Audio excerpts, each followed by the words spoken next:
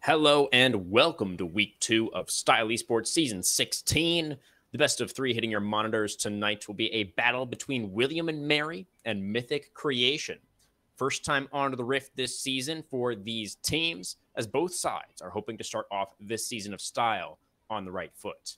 Swords shall be shaken and faiths shall be tested as our competitors call upon a higher power to help earn them a higher rank. My name is Crewman44. I am joined once again tonight by the totally awesome TDS for tonight's religious rivalry. Are you a man of faith, TDS? I am, but I don't put my faith in games because typically people just fail me. So I'd rather not go that deep. I see. I see. Well, uh, thankfully for you, all you have to do is sit here on the caster desk with me. So uh, hopefully, you know, that won't require too much of you. Um, but I do believe that our teams are going to be ready to get into this draft very, very soon. Uh, we are still on the same patch that we were on last week, of course.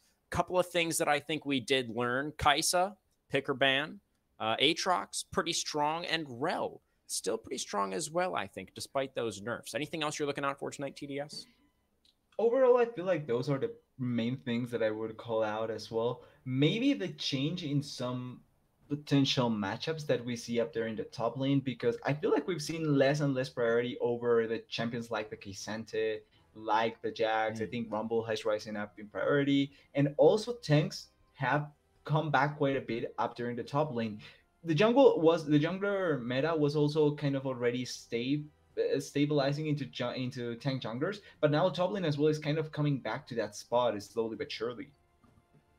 Yeah, we'll see what priorities our teams will have tonight. Moving very Ooh. quickly through this first ban phase, TDS. Ekko and Ziggs already denied by WNM. We've got Miss Fortune and Xerath, a couple of uh, longer range carries banned away by Mythic Creation. Yeah, actually, the Xerath one is something I'm, I'm really surprised to see, but I like that we're seeing the ban because I I've had the chance to see it and play a bit of the newer, well, not newer, but the buffed Xerath to uh, quote unquote, and it actually mm-hmm. feels quite nice to play. The ultimate value as well, early on, having those four ultimates can really impact a lot of how the lane can go and how the map can go. So really like the ban coming through. And with the two remaining bans coming through, Kai'Sa is left open. So yeah. Indeed, indeed, TDS. You know, I would have liked the Xerath ban as well if a Kai'Sa ban was also included on that list. Unfortunately, it seems that Mythic Creation have foregone that, that uh, particular ban. And so the Kai'Sa will be locked away on B1 here, giving William and Mary a very nice start to this first draft could be really, really good. It does give the opportunity for Mythic Creation to get the Rell on their side, and having huge amounts of CC to try and lock down the Kai'Sa can be one of the easiest ways to stop her from being a huge pain in the ass, really. But overall, the Kai'Sa should find a lot of value, and I think the Xayah here, at the very least, will have the ultimate value to deny any sort of either engage potential from the enemy team, or at the very least, if she's at risk of dying, the poke can be stopped, but Graves instead of the Rell, so could be a really mm. good hmm. opportunity to grab that Rell for William and Mary. Or you could also deny the Rakan, right, who is also still open. I'm sure that's something that Mythic Creation could lean towards if uh, if he does make it through to that R3 pick. The Grave certainly an interesting selection. Interesting that he would be prioritized so highly in this draft. Uh, I'm not seeing. Uh, I mean, there's a little bit of Graves in the match history for uh, QCL over here, the jungler for Mythic, but um, yeah, it's a little bit surprising they would put so much priority on that. And the Rakan is what's going to be denied. So the lovers duo will be separated for this first game, and the Rell honestly could get locked in here also if they want to put it in the jungle. Could be for the jungle, but I'm not sure if we're going to see the Rell in the jungle this game. I, I feel much more confident seeing it just in the support position because you get more value, and then you can pick the jungler to try and fight it out with the Graves or try and get early things going before these Graves spikes. At the end, they go for the picture, which does give you consistent mid laner, but that already is stacking to be quite a bit of magical damage unless the Kai'Sa goes for a much more AD oriented build.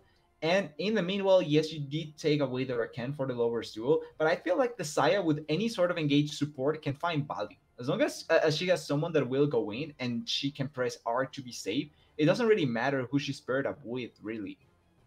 All right. Yeah. I mean, Kai'Sa Xayah is a meta from years past that has yep. sort of made its way back to us here in uh, season 13. But uh, the Syndra is going to be the last option to get locked in in the first round of picks for Mythic Creation into the second ban phase now, as we are mostly in parity. But William and Mary do have the option of banning away some supports, while Mythic Creation can target that jungle pool. So the Jarvan and the Kindred going to get removed. Two fairly meta junglers at the moment. Then uh, the Thresh going to get denied. Doesn't exactly match the engage that you were looking for, where the Leona certainly does. But that's the thing; it's engage to board once again, and the Rell not going to to appear for this matchup potentially here with the Leona were kind of already selected. I would doubt that we're going to get the Rell unless it is going to be the Rell jungle but it would be kind of surprising to see it coming through. But that's kind of the point that I was making with the Leo, with uh, the Rell as well over on the side of Mythic Creation. You know, or with the Rakan. You don't need the Rakan really. You just need another engaged support that can fit the build to a certain degree, and then Xayah can press R, and that's it. She's safe by herself. So if that's the mm-hmm. the reasoning behind it, I'm not sure if that's the best. But you did take away the lovers duo interaction, and then we do have the Viego. So yeah, no Rell game it seems. It seems that is the case, yes. Uh, Rell, you know, of course, slightly nerfed, still pretty strong, we think, but not necessarily pick or ban worthy. Not going to be making her way onto the Rift this game as the Olaf being considered, but it will be the Poppy instead for Y'Anthony in the top lane. So pretty interesting comp here for William and Mary. I, I feel like it does a few different things, but I don't know if it necessarily does one thing the best, if you know what I mean, TDS. It's well, it, it feels like it's the jack of all trades, master of none, really, right? The the one that you can really use for a lot of things, but really doesn't excel in one particularly. That being said, I do like the the fact that with the Poppy, you at the very least do have the cancel for the Leona engage.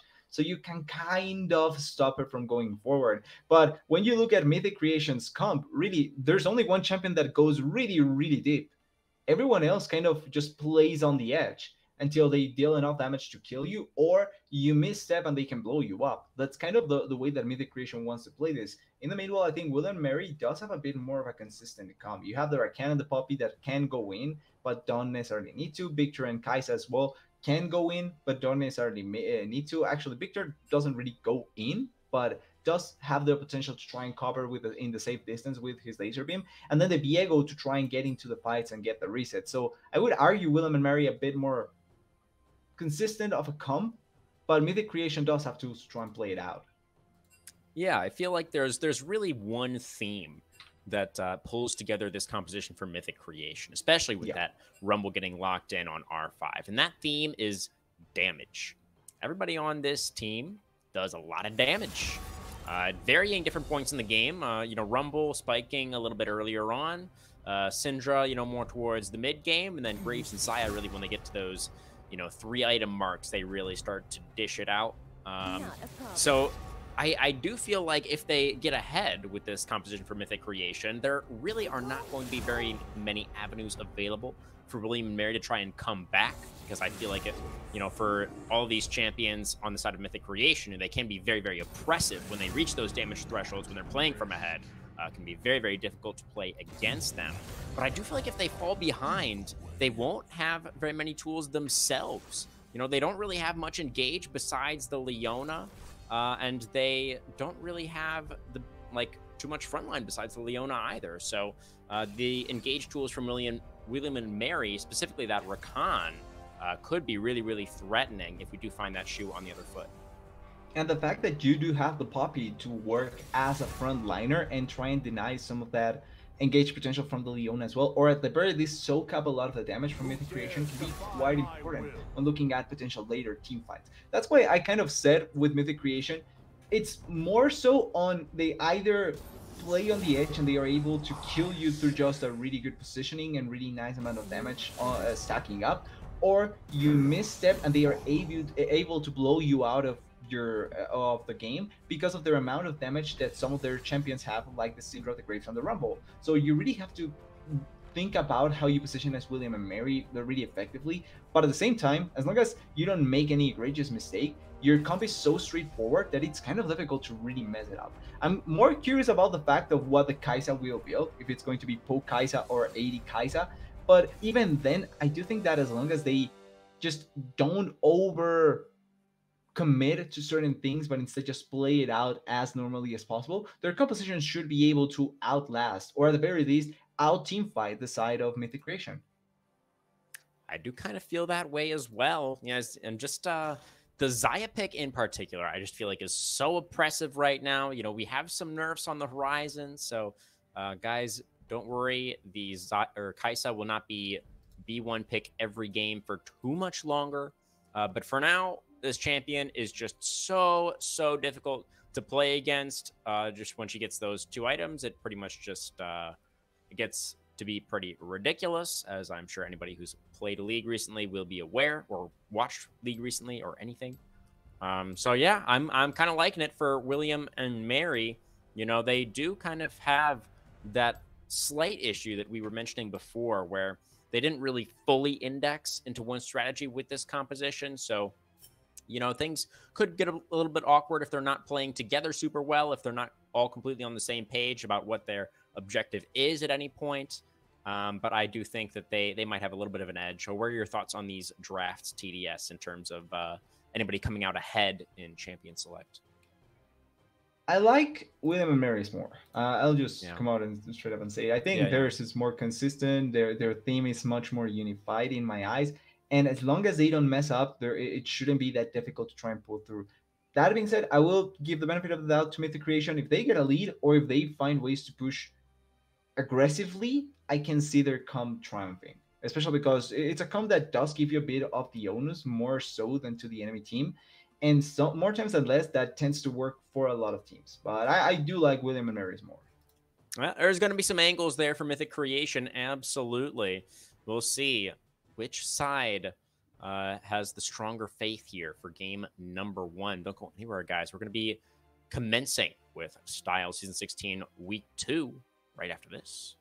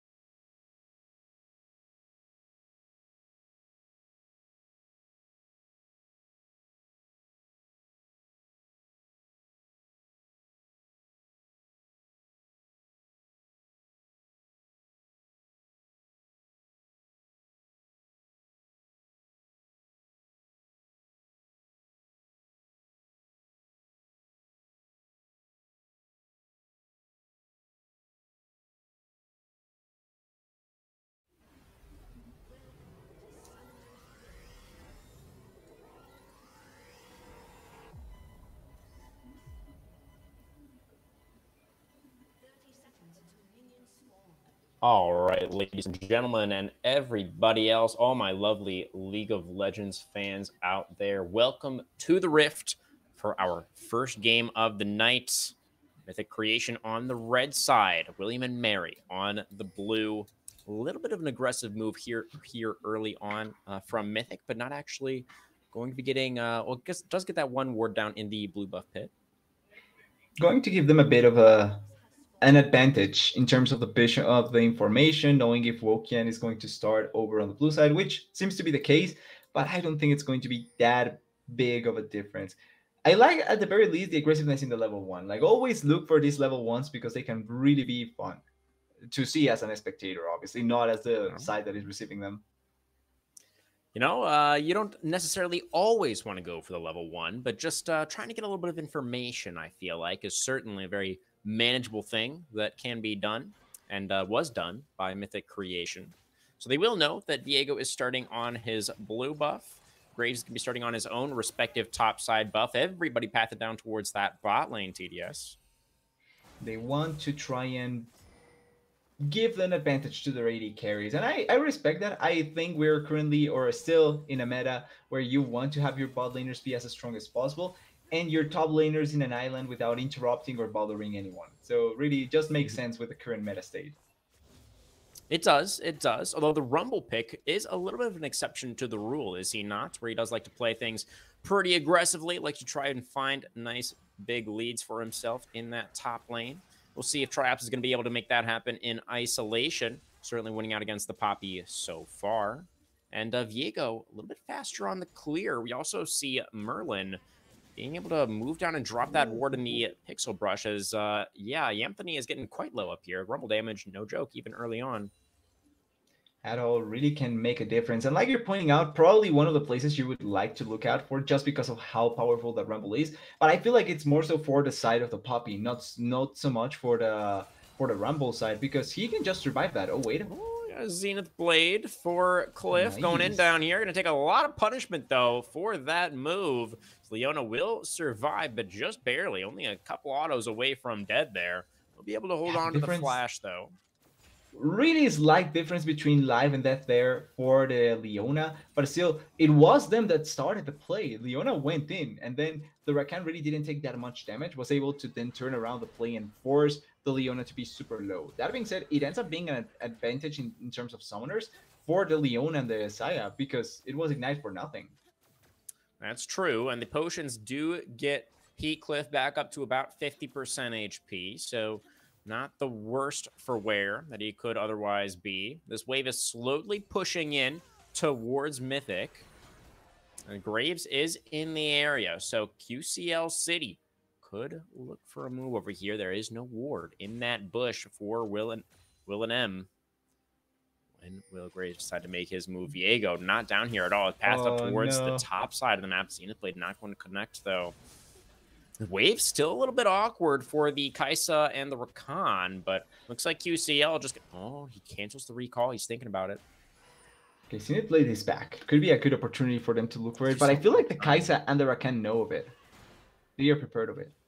Yeah, they're clear. They're playing quite respectfully uh, in that lane, just really not giving the angle to the Graves. You know, the Leona is the only way to really engage that fight, and the fact that wasn't able to find the Zenith Blade meant there was really nothing there for City. Yeah, gotta say, really like how both Kai'Sa and the Rakan play that out. They respected the potential of a gank coming through. They knew that their Viego was hovering over in topside. And even though they were losing on a couple of minions, they still have the advantage, so it didn't matter that much. But they were a bit behind on the minions. So it, it did impact that, but I like the respect that they provided. Mm. Top lane, though. Yeah, getting pretty low. Uh, City did just Ooh. get the bad news that he got double scuttled. Is he going to be able to win out in this fight, though? Uh, able to push the Viego away. Viktor roaming over to reinforce both top laners. Yeah, we saw that scrap up there. They both did get pretty low, but look at all this priority for Mythic Creation, able to push mid jungle out of this top side entirely. Yeah, the main issue right now for the side of uh, of the blue side, it's that their top side is losing so heavily. Look at the, the way that the top side is going. Oh, even equalizer just to push the wave. They are getting pushed. They don't have control. They cannot allow their Viego to roam freely. And in comparison, the Graves gets complete priority, is able to push waves and engage down here. Oh, yeah, big engage, big engage. As Xayah's flashing away from the grand entrance. It's Cheese who's going down pretty low. The Shield of Daybreak will get the cleanse. Heathcliff now forced to walk backwards. Kai'Sa passive is going to proc, but the Leona will survive on about 150 HP it's cleanse for flash on the side on the side. So overall, I feel like you take that if you're on the William Mary side. And here comes the Viego. I'm not sure if they know the Viego. Oh, oh, Heathcliff's gonna get taken down here. The bone plating keeps him alive. Woken, uh, Wokian gonna continue to look for this play. Has flash, can flash for the Q, and there's gonna be the first blood over to the William and Mary jungler. He's gonna be able to take the stolen Leona body. Now he doesn't have the Heartbreaker, of course, not level six yet, which means it will just be the one kill over to Wham to start things off. It's also how that happens because the Viego, with any, if he gets the, the Leona there and then he's able to go back to his abilities, probably kills the Xayah really, really easily. But because he's stuck on the Leona, cannot get the extra damage for the kill, and at the end, it does provide the opportunity for Frozen to escape. That being said, it's still at one for nothing. They get the kills, they get the blade as well in the mid lane, so the overall value for the side of Will and Mary is just simply much, much higher. Yeah, definitely. I, I do feel like, okay, as Merlin's going to have to flash away from this Graves in the mid lane. It didn't have the collateral damage yet, but Syndra did have the Unleashed Power, and Merlin did not want to play around with that possibility. Now has no oh, flash, though, and the scatter will connect. Another one lands from Paradox, and in comes Graves flashing in for the play. It's going to be the Unleashed Power that finishes things off as the side of Mythic Creation tie things up one to one really, really good setup coming into the mid lane with the Leona just hex flashing over the wall. And before that, Paradox connecting on that scatter of the week. Really good kill they are getting. They find they find some value back after what happened bot side. And also they are feeding one of their important champions, the Syndra. Okay, this is Heathcliff going into the lane right as Cheese was trying to go aggressive. Ooh. A lot of damage coming through from the Blade Caller already, but Xayah also chunked down pretty low as the Ignite has already been utilized by Mage of None. Wave is pushing in towards Xayah and Leona. They will just collect that for now. These teams really not holding back. Lots of scraps. Yeah, they like to fight, and I respect that. I, I like to see the fact that they are going to uh, uh, punch for punch, trying to get as much damage on the other as possible. The bot lane fight just now showcasing that both sides wouldn't be scared about anything, and now a dragon fight potentially. Mm. Looking, gonna have to call the bot lane over, but luckily Mage oh. and Cheese did have priority. Quickness popped, looking for the charm, gonna find it onto the still level 5 Graves. QCL City running rapidly out of health. Leona over the wall, though. It's gonna be the killer instinct in from Kai'Sa. Oh, Cheese does manage to get that kill, going down very, very low, though. Is the Kai'Sa able to survive? Ooh. Not quite, as one more feather comes through. It's actually the Ignite that gets out that last tick of damage.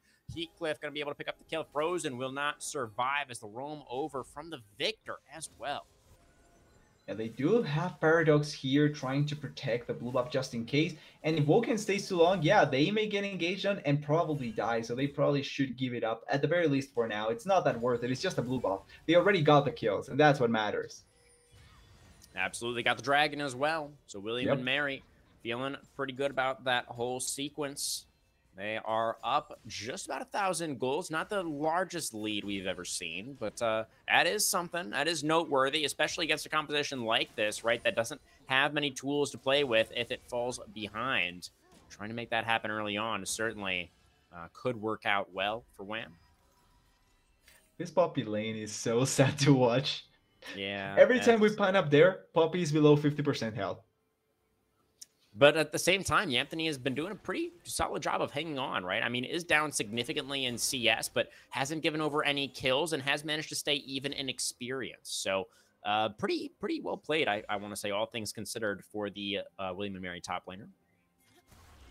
And now the Herald also getting taken taking advantage of the fact that the top lane had to escape because he was about to die. So now collecting that Brave Herald going to be an important cooldown, an important objective to try and get here, particularly because we talked about this. They want to try and snowball as much as possible. So getting that huge amount of gold could really turn around. Oh, Ooh. Oh. Triumph's going to look for this. Going to get stunned Ooh. into the wall, though, but City is coming over. Will make sure that his top laner is all right. The Herald was secured there by the Grave. So, like you're just saying, that is big news for MC. Oh, the Unleashed Power, it is available. He's going to go for it. Merlin able to stay alive, right. though, with the potion ticking. Viktor is okay for now, but look at this. It's Graves on the flank. The damage, it's collateral, but it's not quite enough. So Viktor will survive. Now Graves moving forward very aggressively here, but I don't know if he has the support that he needs. QCL City is looking to be QCL uh, Deddy. I'm not sure what I was going for there, but either way, it's not going to work out for the Graves. And that's going to be Wham picking up another one. Yep, exactly. Gaining another potential kill there with the fact that they are now on the lead. Really, really, really good for the side of William and Mary. Trying to keep themselves as high up as possible and not give the opportunity for Triump's advantage to matter that much. Because Triumphs is hurting quite a lot. Oh, oh, the killer instinct under the tower. There's Newfie Cheese. Picks up his second of the game. There's the power of the Kai'Sa for you. Lane it priority all game. Finds the kill under the turret. Look at that CS lead in the bot lane as well, TDS. Yeah, I was going to make the joke. It is called Killer Instinct for a reason. So it yeah. works out massively at the end, by the way. And yeah, the CS difference in bot lane kind of mirroring what's happening topside. Obviously, Tribe is a bit better, but the difference is the kills. They have the kills plus the play that they were able to collect early on as well. So that difference not only equaling out, but maybe even putting them farther ahead and allowing them to be even better. And also the fact that it's on a Kai'Sa, right? That's yeah. that's going to be pretty significant as well. Uh, about a 1600 gold lead individually right now for Cheese in that ADC position. That's pretty huge. Even gets the the Statikk Shiv already completed, so even better. Oh, Oh, Merlin gets away from that scatter. It's going to be able to get a little damage out here onto the Leona, but that Herald will charge into the tier one. Going to get that one down. A couple of plates knocked off for Mythic Creation. This Poppy is just struggling to survive up here. Yamthon is a true warrior. He's just taking everything that's going to him, and he's just like, okay, I'm back to lane, I'm back to base, but I'll be back, and I'm going to take the same suffering, but I'll be back again. He's got the teleport. He's going to be right back up there to defend once again. Weak side William for William and Mary. Never a better use of that particular term, I think. Yeah, I think fits perfectly with the situation for, for Anthony there. Also, important though, now that the Poppy has used the teleport and we're post 10 minutes, Triops does have the teleport. So if there's a fight down here that the Poppy is not even close by to joining, could be a numbers advantage for the side of, of for the red side. And if they are able to collect a really yeah. good amount of gold out of that, could really turn around the game. And look at this. Uh, Triops actually opting to hold on to the TP has just decided to hoof it down here into the bottom side of the map. And now oh. Cheese and Mage of None got to be a little bit careful as the whole squad for MC is in the area. Anthony is going to take the opportunity to try and get himself uh, a little bit of much needed income up there in that top lane. But this Dragon will go over. The Rumble going to be able to teleport back up there now to catch that next wave that is coming in. And a good move, Ooh. I oh. want to say, as the quickness going to come out in the bottom side. Xayah knocked into the air, has the Featherstorm, but no flash. Going to be able to go up into the air and get the disengage. Viego, though, now looking. Xayah no ult. Cannot land. The Spectral Maw does not matter as he has the damage with the completed Kraken Slayer to get the kill, but he does get traded back as QCL City was there to punish. One for one in the bottom side river a bit disrespectful from the from the Viego to not use ultimate there. It's fine if you think you can kill her, but you have to use ultimate because it does give you the potential to reset immediately. With that, he cannot reset immediately, and that means that he's still hittable and killable, just like what it happened there with the Graves. Like the attempt though, like the potential kill that they were looking for, and also because the Xayah didn't have flash, was a good idea to try and kill her before she got that back, or before she was able to even escape with no ultimate. And then the play with the teleport from Triops, I'm honestly not a huge fan, just because I do think that you could have done almost all that without sending the Rumble super early on. And that just gave an opportunity for Anthony to try and come back at the very least a bit. Yeah, definitely. Poppy did, uh, I'm sure, really appreciate that little bit of time that was afforded to not get burned alive uh, for a little while still, this Kai'Sa is way too strong, so it's not like it matters that much as of now, at the very least for William and Mary. Yeah, they're still uh, they're still feeling pretty good about uh, the way this one is going. I have to say, even losing out on that last dragon, right? They they could afford to give that one over. I don't think they're really too worried. Still it's also on. Uh... Oh. oh, go ahead. I was just going to say it's also one of the better draws they could have hoped for on either side, really, because now stacking the dragons mm. really is not going to be a game-winning situation. You're giving up Chemtech. That's it. Yeah, very, very true. Not uh, really too much value, I don't think, for the Chemtech Soul in this particular game. You know, there is some threat of people getting getting burst down. You know, the Syndra execute damage, you know, the Viego execute damage on the ultimate. You know, maybe if you have a Chem Soul, then you survive to like get auto attacked one more time. Uh, yeah, it's it's Soul. Yeah, like not gonna lie, even with Chemsoul, I just think that Syndra Graves pretty much means Oh, Rumble's in trouble. This is Triops in a little bit of a sticky situation, flashing away from the Heartbreaker. He's got his own jungler here, but City's gonna get charged into the oh, wall no. heroically by the Poppy, and the damage is there from the Viego. The engage into the DPS, the top jungle for Wham, looking good, and they're on to Shirley Wokian with the Graves body. Gonna quick draw over the wall and immediately Heartbreak back into the pit and secure that objective. Exactly, not really having to use the Graves for match after killing him, but really unlucky series of events there for Q- City, where you pretty much are there for say uh, for the fact of saving your top laner, and then immediately just get engaged on, traded, and killed. You cannot do anything at that point. I don't think he was even able to throw an ultimate out to try and escape. Yeah. He just got bursted out immediately, and it works massively for the side of William and Mary because it's not only the kill, Flash from the Rumble is down as well, and it's Herald also. Oh, absolutely. That was a big win for them on that top. Look at this, Anthony teleporting into the bot lane now. He said, There's no more turret plates. There's no longer a reason for me to go top lane ever again. I'm playing with Kai'Sa now. See you top lane, and that's going to be the Poppy hovering around here. But QCL City is in position to defend against any potential dives that could come through. I think it was actually an engage from the uh, Rakan that they followed up on because uh, quickness is down and flash is down on the Rakan as well. Mm.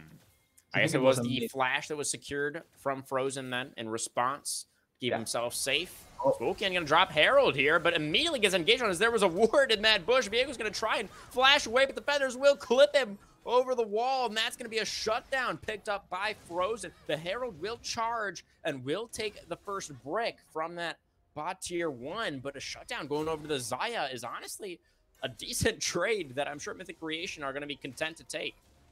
100%. Huge, huge blunder there by Wokian on the Viego to die just like that, give up such a huge shutdown. He was 5 and 1 before that death. That means that he gave up, uh, I would like to confirm it just in case really quickly, uh, around 300 gold. Yeah, 300 gold uh, off the bounty plus the kill. That's like 700 gold that he just that the side just got out of nowhere.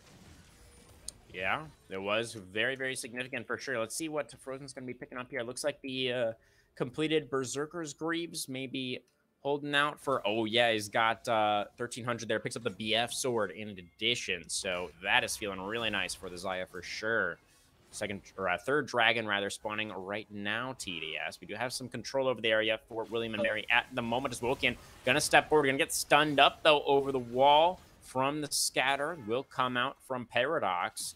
Still it's gonna be the side of wham that have all of this vision control in the river and they're gonna go immediately onto that dragon. Oh rumble is here yeah, pretty good equalizer right in front of the pit. Triops now backing away, not wanting to get engaged on the quickness. Grand entrance combo will be sidestepped from the Rumble. Now the wait, wait, wait. HP. The Dragon will go over to Woken as the Viego picks up the second for the squad. Heathcliff forced to back away now as the shutdown has come through from the Kai'Sa Viego oh, combo. The they go on the enemy mid laner, and that's going to be enough to swing the team fight in their favor. Xayah is pushed completely out, and it's going to be the two for one plus the objective, William and Mary.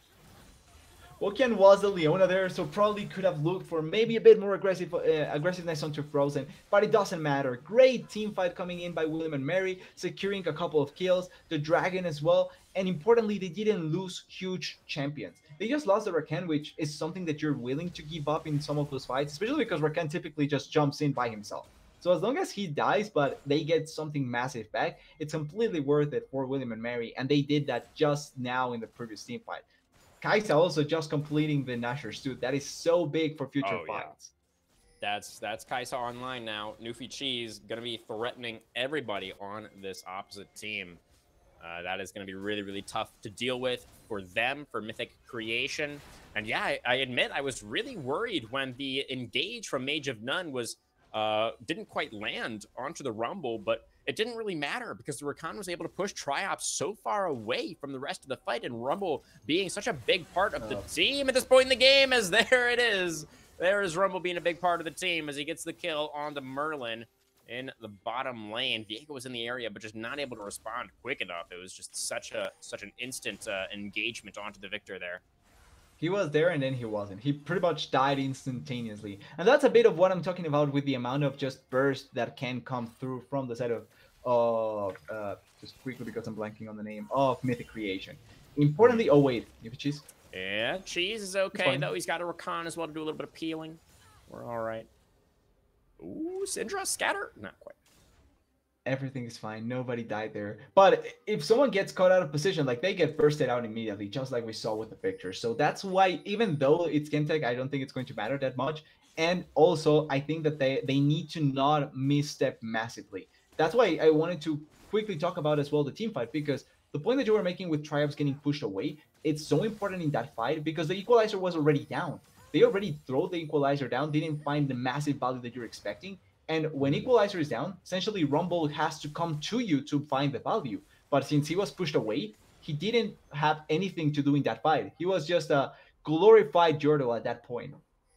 Yeah, I mean he was he was roasting a bird. You know, he was able to get down the the Rakan at least, but uh, it was not enough. You know, just uh, you know, birds they don't really have a lot of uh, meat on there. It's not going to fill you up, uh, TDS. You know, you need a little bit yeah, more on the side of Mythic like... Creation if you want to get your comeback meal in as Mage of None. Pops the quickness once again. Not going to get roasted this time. Pushes out the Graves. Staking their claim over the chicken camp is Wham. Does Grave roast Rakan as well if he's hitting him? Isn't it like mm. shooting it? Uh, I mean, I I feel like Graves is more of like the the hunter who like will go out and he he'll get the bird, and then Rumble is like the chef who will put it on the Barbie. You know what I mean? Okay, that's fair. Yeah, I, I can I can see that. Yeah. But we'll see if they're going to be able to accomplish that much more this game because they are, you know, uh, they're not ahead. And this is a composition where, you know, I, I think we were of the opinion that they kind of need to be ahead if they're going to be able to win out here. Uh, you know, they do have the Leona, so if you if you can get that huge engage onto the Kai'Sa and like blow up Cheese or Wokian at the start of a fight, you know, maybe maybe there's an angle there. You know, they have some tools still. They have a lot of burst damage that, that where they may be able to make something like that happen. But I feel like things are just going to continue to get a little bit easier to play out for William and Mary the longer we go. And at the very least, the poke from the Kai'Sa is not going to hurt that much, and she since she's going for the uh, Guinsoo's instead of going uh, Ludens, it's mm. not going to be as difficult to survive the poke damage of the Kai'Sa. Oh, I don't think you want to be here, Merlin. I think Triops wins this. Yeah, he thinks so yeah. too. He's to rock a belt in, then he's got the Flame Spitter, and he's going to get the kill. He's going very, very low, though, and the Heartbreaker's flashed away from the Rumble Surprise, but the Flash Follow is there from Wilkie, and he does get the shutdown, and he does make it a one for one in that bottom side. Dragon coming up once again now. TDS 20 seconds on that second Chemtech. 4v4 on Summoner's Rift. Poppy with the teleport. Anthony going back to base right now. Going to get in position to potentially join up with the rest of the team. Poke. the side. Mythic Creation. They're pushed back into this choke point on the ramp into the blue buff. Poppy is teleported into the bottom side. So Kai'Sa's oh. a little bit oh. separated from the team here at the moment. Does have the killer instinct, but needs to be careful for Cheese that does not get engaged on right now. The side of Mythic Creation have been forced to go back into mid lane to maintain some priority as Viktor here. has respawned. Triops also coming up right now is going to have the teleport as well. Oh. If Rumble wants to join in, but the Dragon's oh, already oh, been the engage. Is there. Wait, what? Mage of None, and that is going to be the cleanup that comes through as Kai'Sa's going in with the Killer Instinct. It's Anthony with the double kill. Poppy coming alive here at 24 and a half minutes. Cheese, though, in trouble from Triops, is getting burned down by the Equalizer. and The Flame Spitter will come out as Triops gets himself a big old shutdown. But still, that is going to be a pretty positive play for William and Mary on Chemtech Soul Point now. Yeah, it's really nice that they get the kill on the Kai'Sa back, but the team fight, the massive team fight from William and Mary, winning them another huge amount of gold, plus the dragon as well, like you're pointing out, soul point secure. And yes, I may not think the Chemtech dragon is going to matter that much, but guess what does matter? The Elder and gaining that sort of advantage, especially when you're already ahead and your composition is going to keep on scaling for the Elder that should be around eight minutes when, when you're able to fight around it or 10 minutes for uh, when you're able to fight around it that's going to be so many power spikes for your team and so much value for yourself i also wait Merlin. Ooh, Merlin on the side step from the solar flare nice. shield of daybreak will come up with a follow-up not there frozen already a little bit low on that Xayah. Didn't have any summoners, not willing to commit forward in that instance. Not sure what Heathcliff was looking for there. I'm not sure what they were trying to accomplish there, but nothing much lost anyway. And also, just just a quick point out, I don't know why Anthony didn't go for the Xayah there, but could have been such a free kill. That being said, he got a good stun, so it doesn't really matter at the end. Yeah, so was that in the uh, last team fight after the dragon that you were? Yeah, when when the they were kind of engaged, the both of them were in the on mm. the wall, and Frozen was there. I thought he was going to just ram Frozen into the wall and not allowed him to to escape, but choose the, the Leona, and I respect the decision there. At the end, they won the fight, so it's not like it was a massive blunder. Yeah. And it can be a little bit tricky as well if they were really just like stacked up on top yeah, of one another. Matter. You know, it could be a little bit of uh, difficulty to actually click on the appropriate target. You know, something I'm sure we've oh. all suffered before is the quickness. The grand entrance over the wall, not going to connect though. Mage of None not quite able to find it there. The team, though, is going to be able to lock down that turret in the top lane. At the very least, Poppy is completely back on the game, and now you do have a lot of value with your tank. And also, yes, you blew quickness there, but the control, the vision control, and the the control that right now William and Mary does have over on the top side for the Baron is quite nice to have, and it does give them the opportunity that for the next Dragon fight, instead of trying to go for Dragon, they can actually just decide to to trade and go for Baron if they really want to, if they are able to bait uh, okay, Shurelya's popping out from Mage of None. Looks for the engage onto the Leona. Cliff going down very, very low, but able to flash away, able to stay alive. It's going to be the Rakan who gets taken down. Scatter of the Week, not quite enough range on that one. Not going to be stunning anybody. But once again, it's a little bit of an engage from William and Mary that does not find the mark. And they are looking for Baron. They have Leona backing, but she's the only one that was affected. Yeah. Everyone else is healthy enough, and they can look for it now. Viktor is bottling, and he has no teleport, so this is actually a perfect opportunity for it. They're burning the Baron down pretty quickly. TDS is down to 50%. Oh, Poppy is in the area. Gonna get the, the hammer. The uh, uh, Hammer will knock out the Xayah, and Triops is going to get engaged on his oh, cheese. Goes no. in with the Killer Instinct and has all the damage that is needed. Easily picks up the double kills. This team fight is so split now. Woken with a stolen scatter with a lockdown onto City. Oh, but the Viego has gone a little bit too far and is going to get CC'd up by the Leona Featherstorm coming out from Frozen there as well. And they burst down the enemy jungle. Kai'Sa failing that W is so unlucky because that could have been the reason for the Viego. But they still stopped the Baron buff. They got a really good amount of kills. Oh. Whoa, Merlin flashing for the Chaos Storm. Not quite going to be enough to get... Oh, does in the end actually get the kill. Must have been another Luden's proc at the end there. And that's going to be the push now. The siege onto the tier 2 in mid lane. No AD carry, no mid laner. Nobody here to defend right now for Mythic. Not quite able to take down that entire turret are William and Mary, but they do get a lot more on the back end there. 4,000 gold now is the lead. It's a lead and they have a lot of value on their side to just now keep on pushing forward. The Viego with three items, the Viktor now completing a second item as well, going to have a lot of value. Plus the stopwatches. Look at the amount of clocks uh, of watches that are currently in the pocket of each of the members from William and Mary. They have three, so that means that stasis can be massive in the coming fights. Yeah, that is uh, really, really good. They are going to be happy about that additional playmaking for sure. Going to make it really difficult oh, for Creation to find these bursts. Merlin might have to use his immediately, though. Going to have to stop time for a little while. I don't know if he's going to be able to stop it for long enough. But here comes Anthony trying to create a little bit of disruption. Finds a lot of One CC, down. and that's going to be the trade back onto the jungler. City taken down. Oh, on the front lines. In goes Kai'Sa into the back line. Is cleaning up everybody. It's Triops able to survive for a while. Cheese forced to go golden with his own stasis, but it'll be more than enough for William and Mary to take the team fight. They find a massive four for two, and they can push straight down this bottom lane.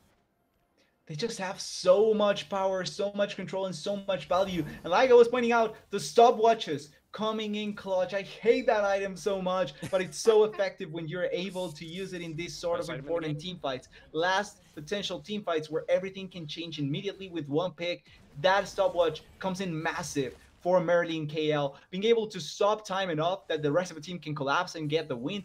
So crucial for them. And now with Soul on hand, not the best Soul, but doesn't matter because the gold lead is what's going to matter after this point. More gold, more damage for them. Sun just completed for Kai's as well. And now Baron Bob looking really, really, really good for them.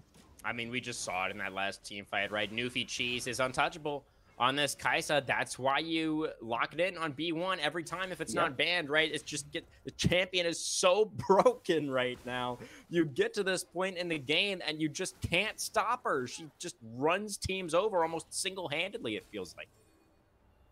You can try, but I'm not sure if it's going to matter that much eh, later on. And that's why I also I'm surprised to not see the Rell. Like I think Leona to a certain degree does a good job at that, but you're lacking on way too much point and click CC.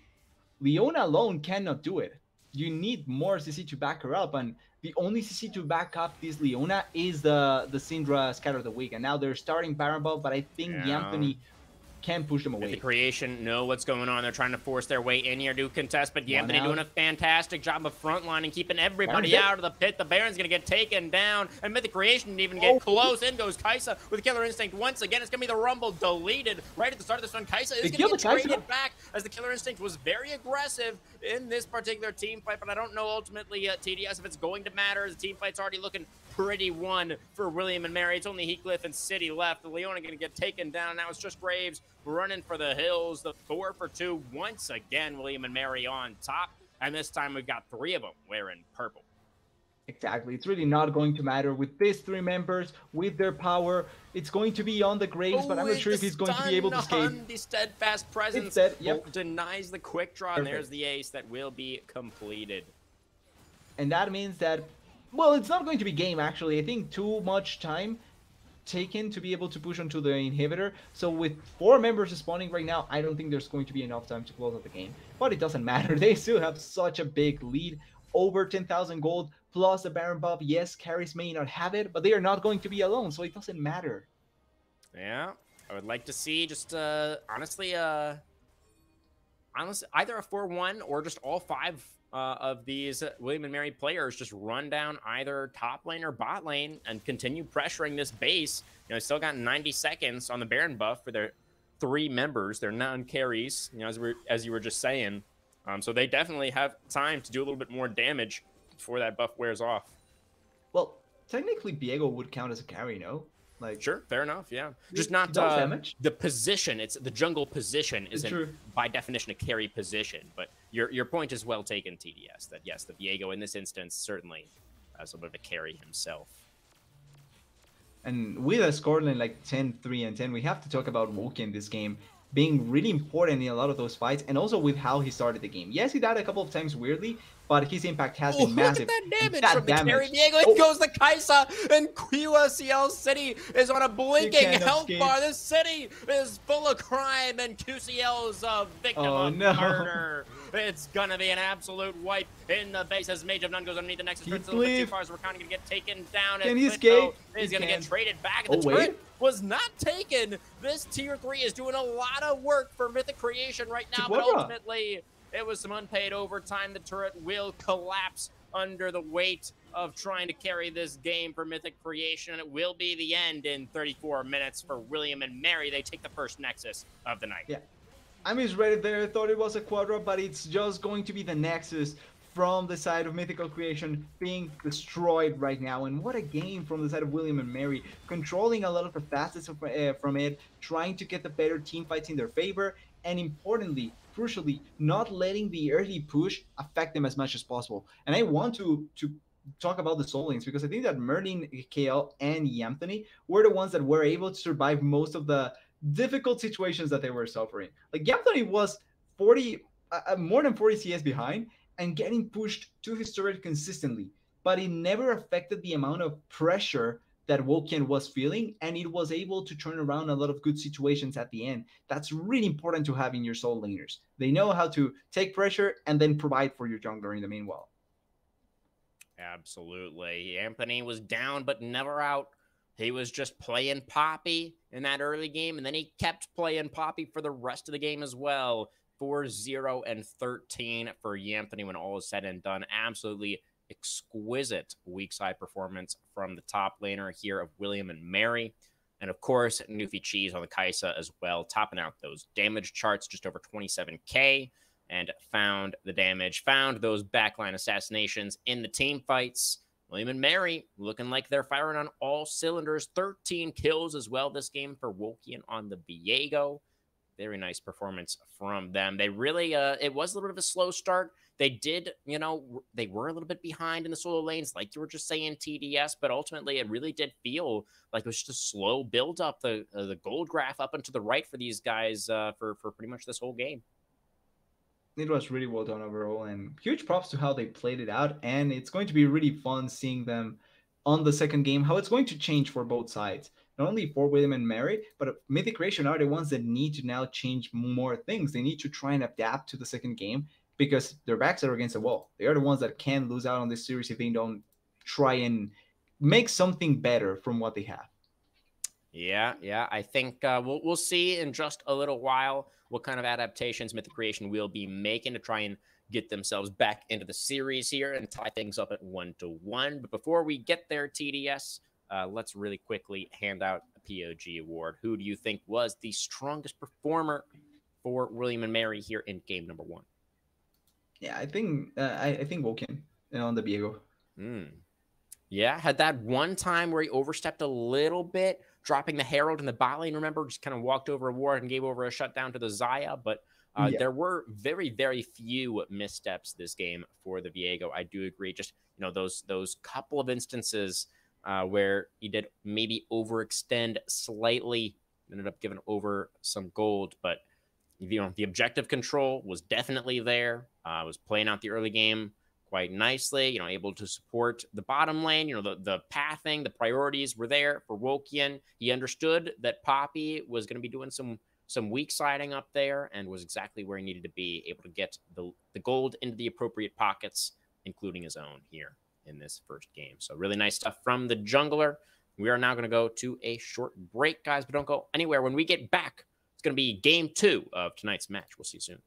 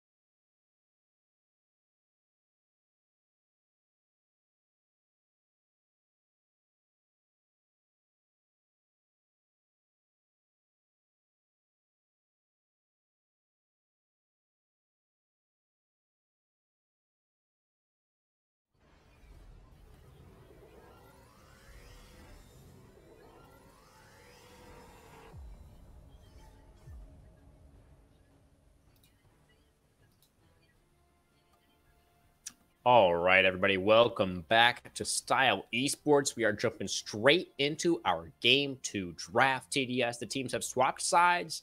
We're going to have Mythic Creation moving over to the blue side this time around, William and Mary on the red. And it is time to see if Kai'Sa will find her way back home onto this red side ban list. William and Mary, what's it going to be? Are they really going to let it open? Uh, like they played it just now. They should know that this know. was really strong. They did. I think they were the ones that banned the Ziggs in the previous game. So would be interesting if they decided that the Ziggs is going to be the same problem as a poking Kai'Sa. But honestly, I just think that the Kai'Sa's versatility and damage is going to be much more of a problem. Okay, and they will Insta make the correct decision. And yeah, that was the insta lock on the Maokai. It was also still pretty high priority. We've seen in pro play as well. Yeah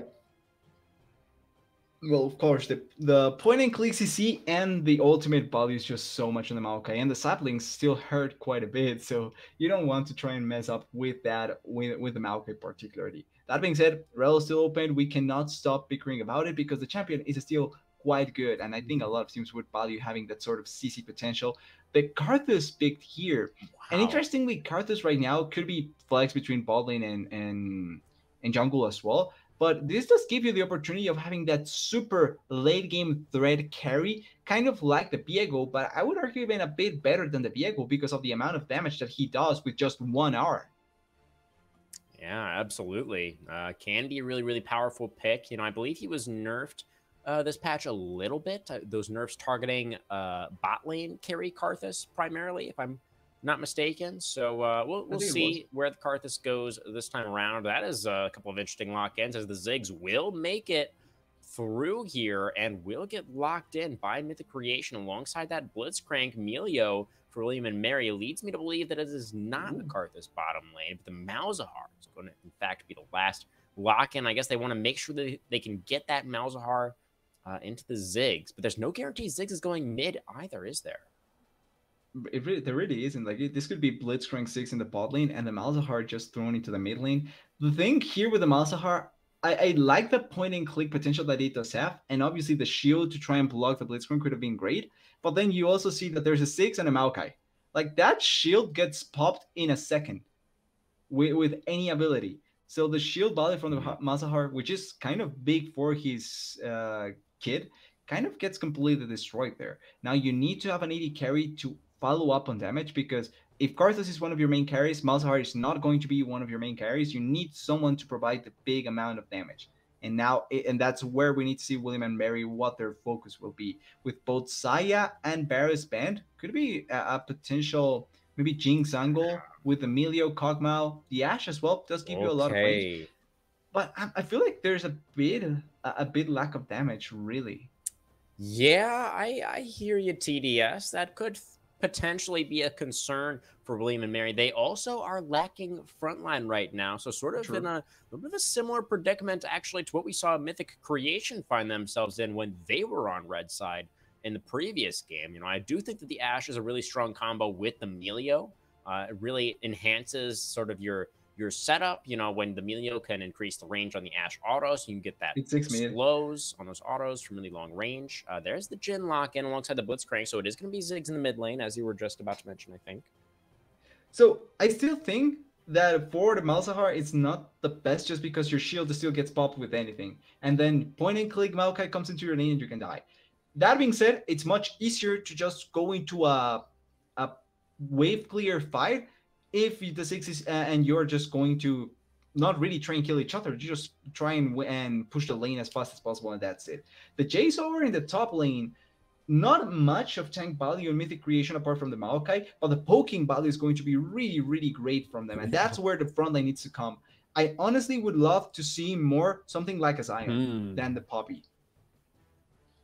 What was that? What was that that you were calling for, TDS? I would have liked more the Sion, really. Sion or Ornn, I would have liked more. Hmm. Interesting. But the Poppy yeah. picked. Yeah, I mean, why why would you have preferred those those other options? Poppy is not necessarily bad, and I do think the the hammer can be good. But the issue is that both Ornn and Sion have more straightforward ways to make a fight happen. If something like because one big thing for Mythic Creation is a poke. They have Ziggs, Jhin and Jace with Sion and Ornn or Ornn, you have the choice of just saying, okay, screw it, we go in because they are poking us way too much and we need to make something happen. Poppy is not really a champion that gives you that choice. And I don't think that you can win a poking war or out sustain the huge amount of poke that it's going to come through because there's magic damage and physical damage. That's what I'm scared here with the Poppy. Mm. So hmm. that, that's why I, I like more the Sion Ornn choice. But the Poppy as a mid shield still works to a certain degree. Yeah, yeah, it, it can work, uh, certainly. And, uh, you know, Y'Anthony obviously had a great performance on the Poppy in game number one. So with that uh, being factored in, I certainly don't mind seeing it get taken once again here for William and Mary into game two. Um, but certainly, you know, we, will have to track and see if, if the Poppy is going to be able to absorb that pressure and, and still manage to stay alive herself. Because there is, as you were just mentioning, an incredible amount of poke that will be coming out from Mythic Creation. Uh, they have a lot of range, a lot of damage that can come in from very, very far away. So uh, that is looking potentially really, really good for them. And having just a Poppy on the other side to try and, and soak up any of these rogue skill shots uh, does seem a little bit uh, uh, inadequate uh, for the side of William and Mary.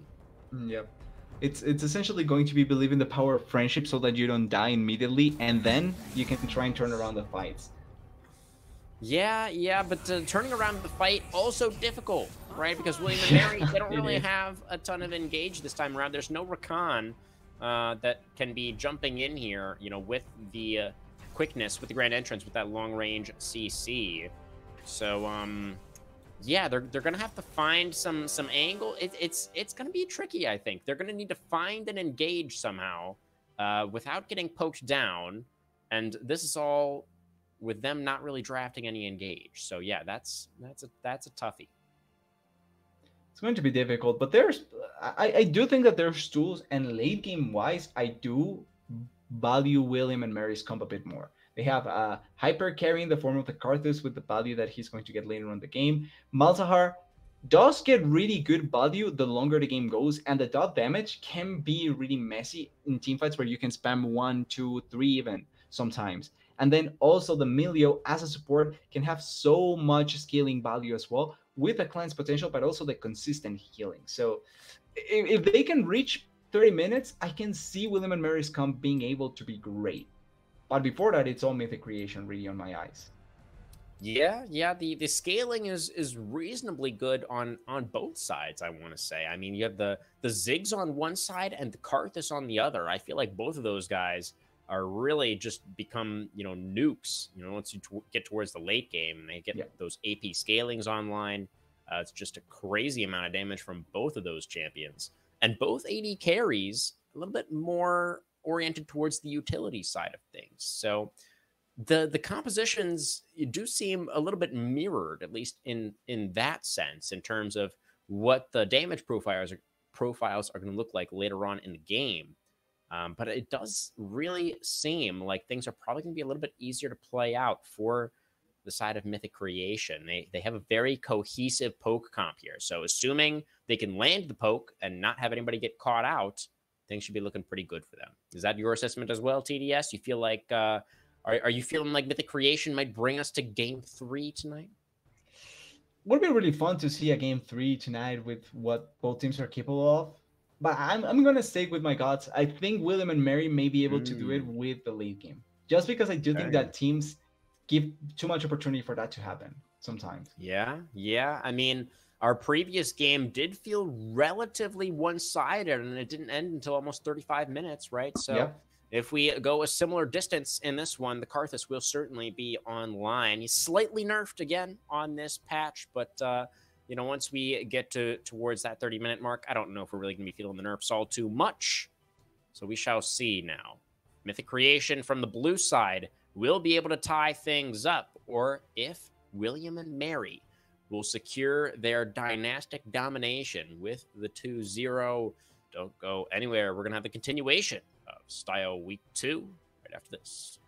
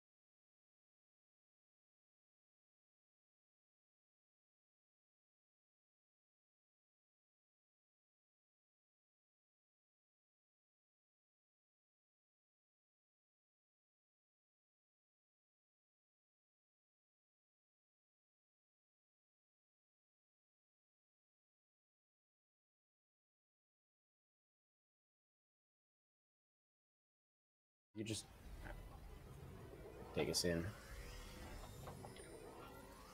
And everyone is ready for the level one, just waiting. Wait, actually, the Jhin didn't go in. What are you doing, Frozen? You have to go with everyone else for the level one. It's not like it's going to matter, but yeah, the Blitzcrank level one is pretty mandatory, right? When you do run the Blitzcrank, you got to try something. Uh, Jhin just playing defense this time around, wanting to make sure that counter invade didn't come through. Um, but I don't think anybody's really going to be finding one another as the five stack did come in from William and Mary to defend sure? in that banana brush. well, we are sticking around for Mythic Creation. Oh. Ooh, so clever from Wokian to check the bush there. How did he know? Hacks. Hacks. Someone check his PC. Confirmed. Not normal. Yeah, well, either way, uh, that's really nice from William and Mary. That will the deep ward will come out from Mythic Creation in that uh, topside jungle of uh, WAM, but uh, certainly they were looking for a little bit more, hoping to find a little bit more with that invade. Not going to be the case. 100%. That's one of the advantages that the Blitzcrank does give you. So the fact that they were able to dissuade that invade, massive for the side of William and Mary. It's going to still take them quite a while, but that could have just made their game even longer than it needed to be.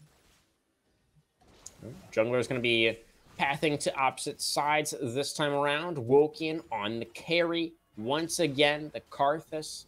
See what is going to come through from this champion. Of course, really likes to power farm through these early levels. not expecting anything to come through too early necessarily.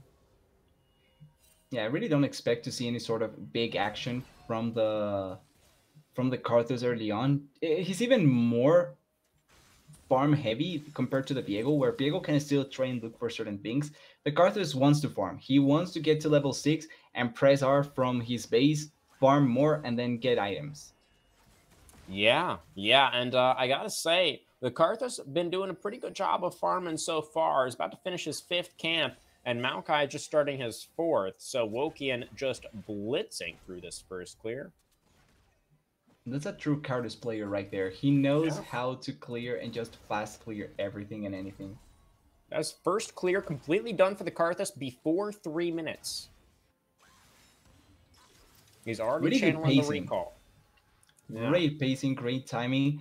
Important though, or important if the bot lane is pushing like this, that Karthus comes down here for the Scuttle Crab because maybe he's able to not only stop a potential Scuttle Crab take, but also a potential gank. Maokai is hovering by and they have the Blitzcrank hook. Mm, City thinking about it. Cliff looking for it. Hook Ooh. will come out. Flash from the Milio to deny the hook from landing.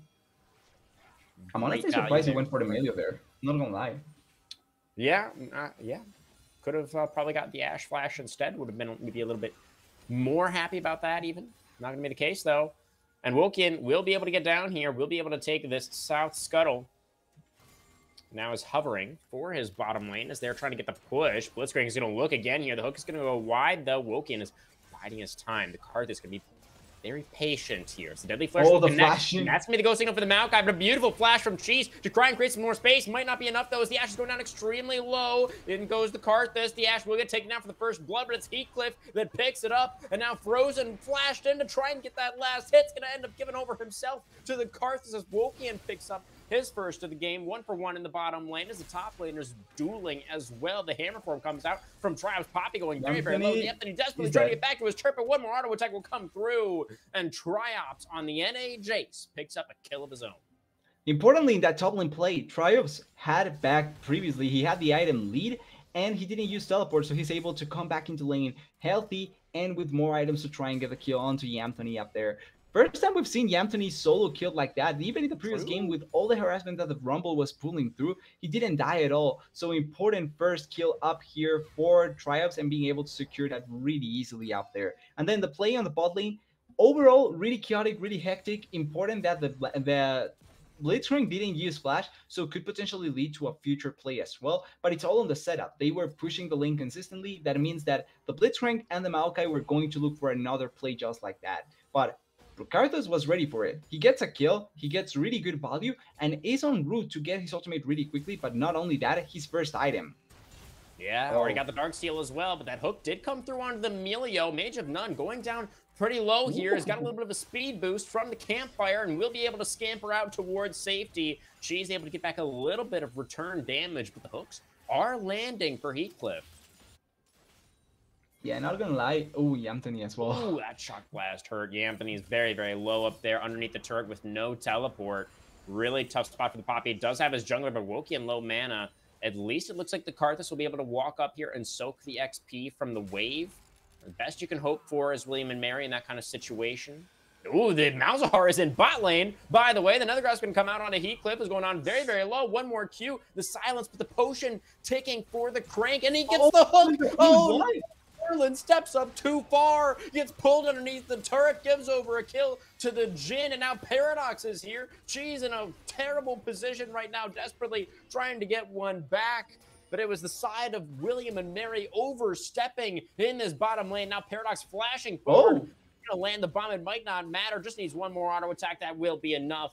As Ziggs picks up his first. It will be Wokian getting one back with the Requiem but a big play from Mythic Creation in this bottom lane to get themselves into the lead. Yeah, Karthus does get one back, but what a big misplay by, by Merlin KL. Really badly executed, going for the ultimate onto the Blitzcrank. And that is not necessarily a bad thing, but the way that you go for it is really, really bad committing for it with no one close by, your E on cooldown so you cannot flash E to try and get the last tick, and then after you get hit by the basic attack from the Jhin and your shield is popped, you still continue to move forward. You are going to die every day of the week after that, and now Anthony may be dead here. Oh, that's nice from Anthony to try and get underneath the turret. The uh, Keeper's Verdict gets the double knockup, but it's not enough as Triops secures that kill. What a roam from Heathcliff into this top lane. The Blitzcrank making his presence felt across the map right now. There will be the ghost signal to get onto the dragon for William and Mary. But you can see Paradox and uh, QCL moving over to try and contest. Dragon down to about 50%. Maokai, no flash, gonna have a hard time getting into this pit, and it looks like the side of Mythic Creation will be content to give that up in exchange for another kill on their Jace in the top lane. Yeah, it was going to be almost impossible to be able to actually contest that dragon with how far ahead this Karthus is. So at the very least, responding with the kill on top lane with the dragon collection. But Anthony, compared to the previous game, he's getting completely and utterly destroyed. The previous game, at the very least, he was surviving. This time around, there's no surviving. There's nothing. He's just getting destroyed.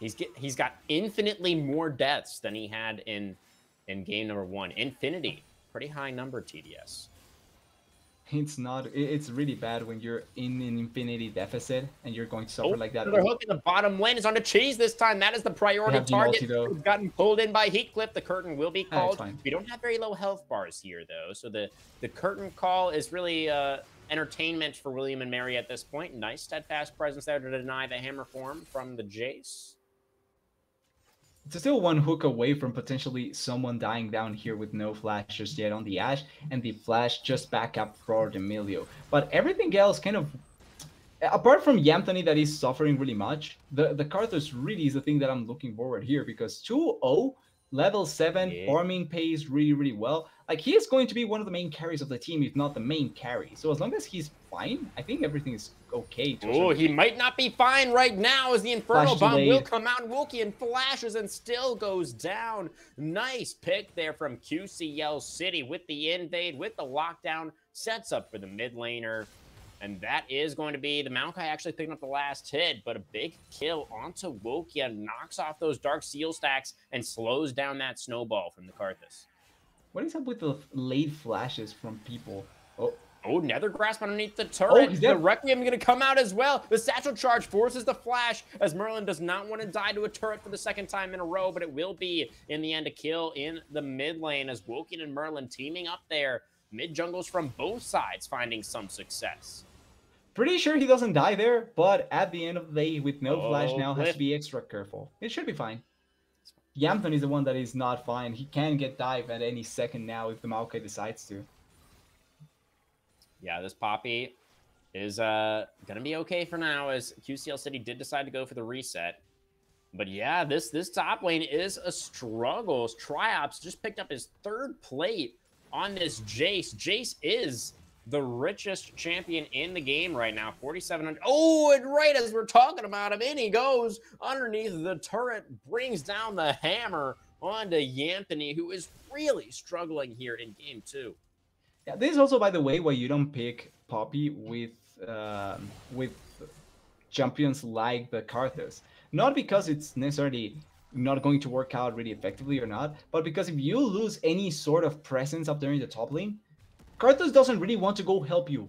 He doesn't really want to have yeah. to go babysit you because he has to farm. He has to get his items, and it's not really on Woken to try and defend him. It's more so on the on how Yanthony essentially messed up by himself and gave up the lane for Triops to try and win win it out.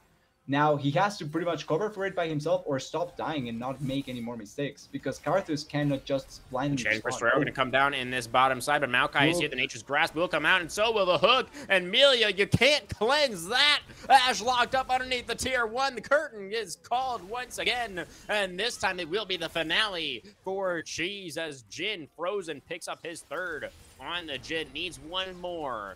In the near future, though, really be a true Jhin player, of course. Yeah, this game is more and more looking like it's going to be a build 3. Like, I don't like calling games done before they actually are done, but it's just like the difference, the way that it's being played, and oh, this. Flash for the knockup. In, Merlin in trouble. One more bomb. There it is. Paradox picking it up. It's Malzahar going. Look at this. Anthony is back in this top lane. He's already chunked down so low, and his turret's down to a single plate. Triops is just non-stop pressuring up here. It's about to complete the call as well. This very rich Jace just got even richer. The Anthony, I feel like just gotta go for the verdict on one of these waves to get Jace off of this turret. He's at risk of dying once again. And goes, he gets, gets another solo kill underneath the turret again. Triops is 4 and 0, just absolutely taking over. And honestly, like I really don't like to to call out like this some, some things, but this was also counter picked technically. Like Yanthony yeah. got last pick, and he's been getting destroyed after getting the last pick. So you have to question what their decision making after that was. Paradox oh, should be Paradox maybe here. greedy there to commit the satchel charge to get the turret. Oh, the Enchantress Herrera will come out. The reinforcements are here. That was Frozen has moved down. The Requiem will come out. Should be enough damage to finish off the Ziggs. It's not, not. Enough. Paradox. Oh, he's burning down though oh, to the Liandry's. The Liandry's will get that kill onto Paradox. Now Heathcliff in trouble. The charge won't get the Blitzcrank into the wall. And the Dragon will be secured by Mythic Creation. Heathcliff will get taken down on the back end of this one. A 2-0 team fight for William and Mary, but they do lose the neutral. Yeah, they get two good kills back at the very least, and that's the most important part. You need to get gold, some, gold somewhere. And it doesn't matter if you have to commit more people. The important part is that you get the gold and you don't lose anyone. Top lane turret was dead anyway. So you have to cut True. your losses short and try and do this sort of plays. Really nice play by William and Mary. Yeah, yeah, that is what they need to try and get themselves back in this one. But look at that gold lead at 14 minutes, TDS. That is insane. That's 7,000 plus gold at 14 minutes. That is a monumental lead. Yeah, so early on, especially against champions that are going to poke you out, it's going to be so scary to try and deal with. William and Mary has it really tough on them to try and win this situation out. Yeah, they they have their work cut out for oh, them no. for sure. And uh, Anthony is looking at like he might be in trouble once again. The knockback will come through. Steadfast presence already utilized. Poppy's going to try and flash right, but the shock blast will connect, and Triops just made that look easy. Is much worse. And now Wokian is trapped between a couple of rocks and a couple of different hard places as well. He's trying to get some fancy feet off, but it will not be fancy enough as Frozen does get that kill number four. Call it right here, folks. Jhin's asking the other team to FF. He doesn't want to get any more kills this game. He just wants to head straight into that game number three. Oh. Oh, the flash away from Cheese in combination with Amelia Ultimate will keep him alive for now, but this turret is going to fall in the mid lane, and this gold lead is just growing and growing and growing.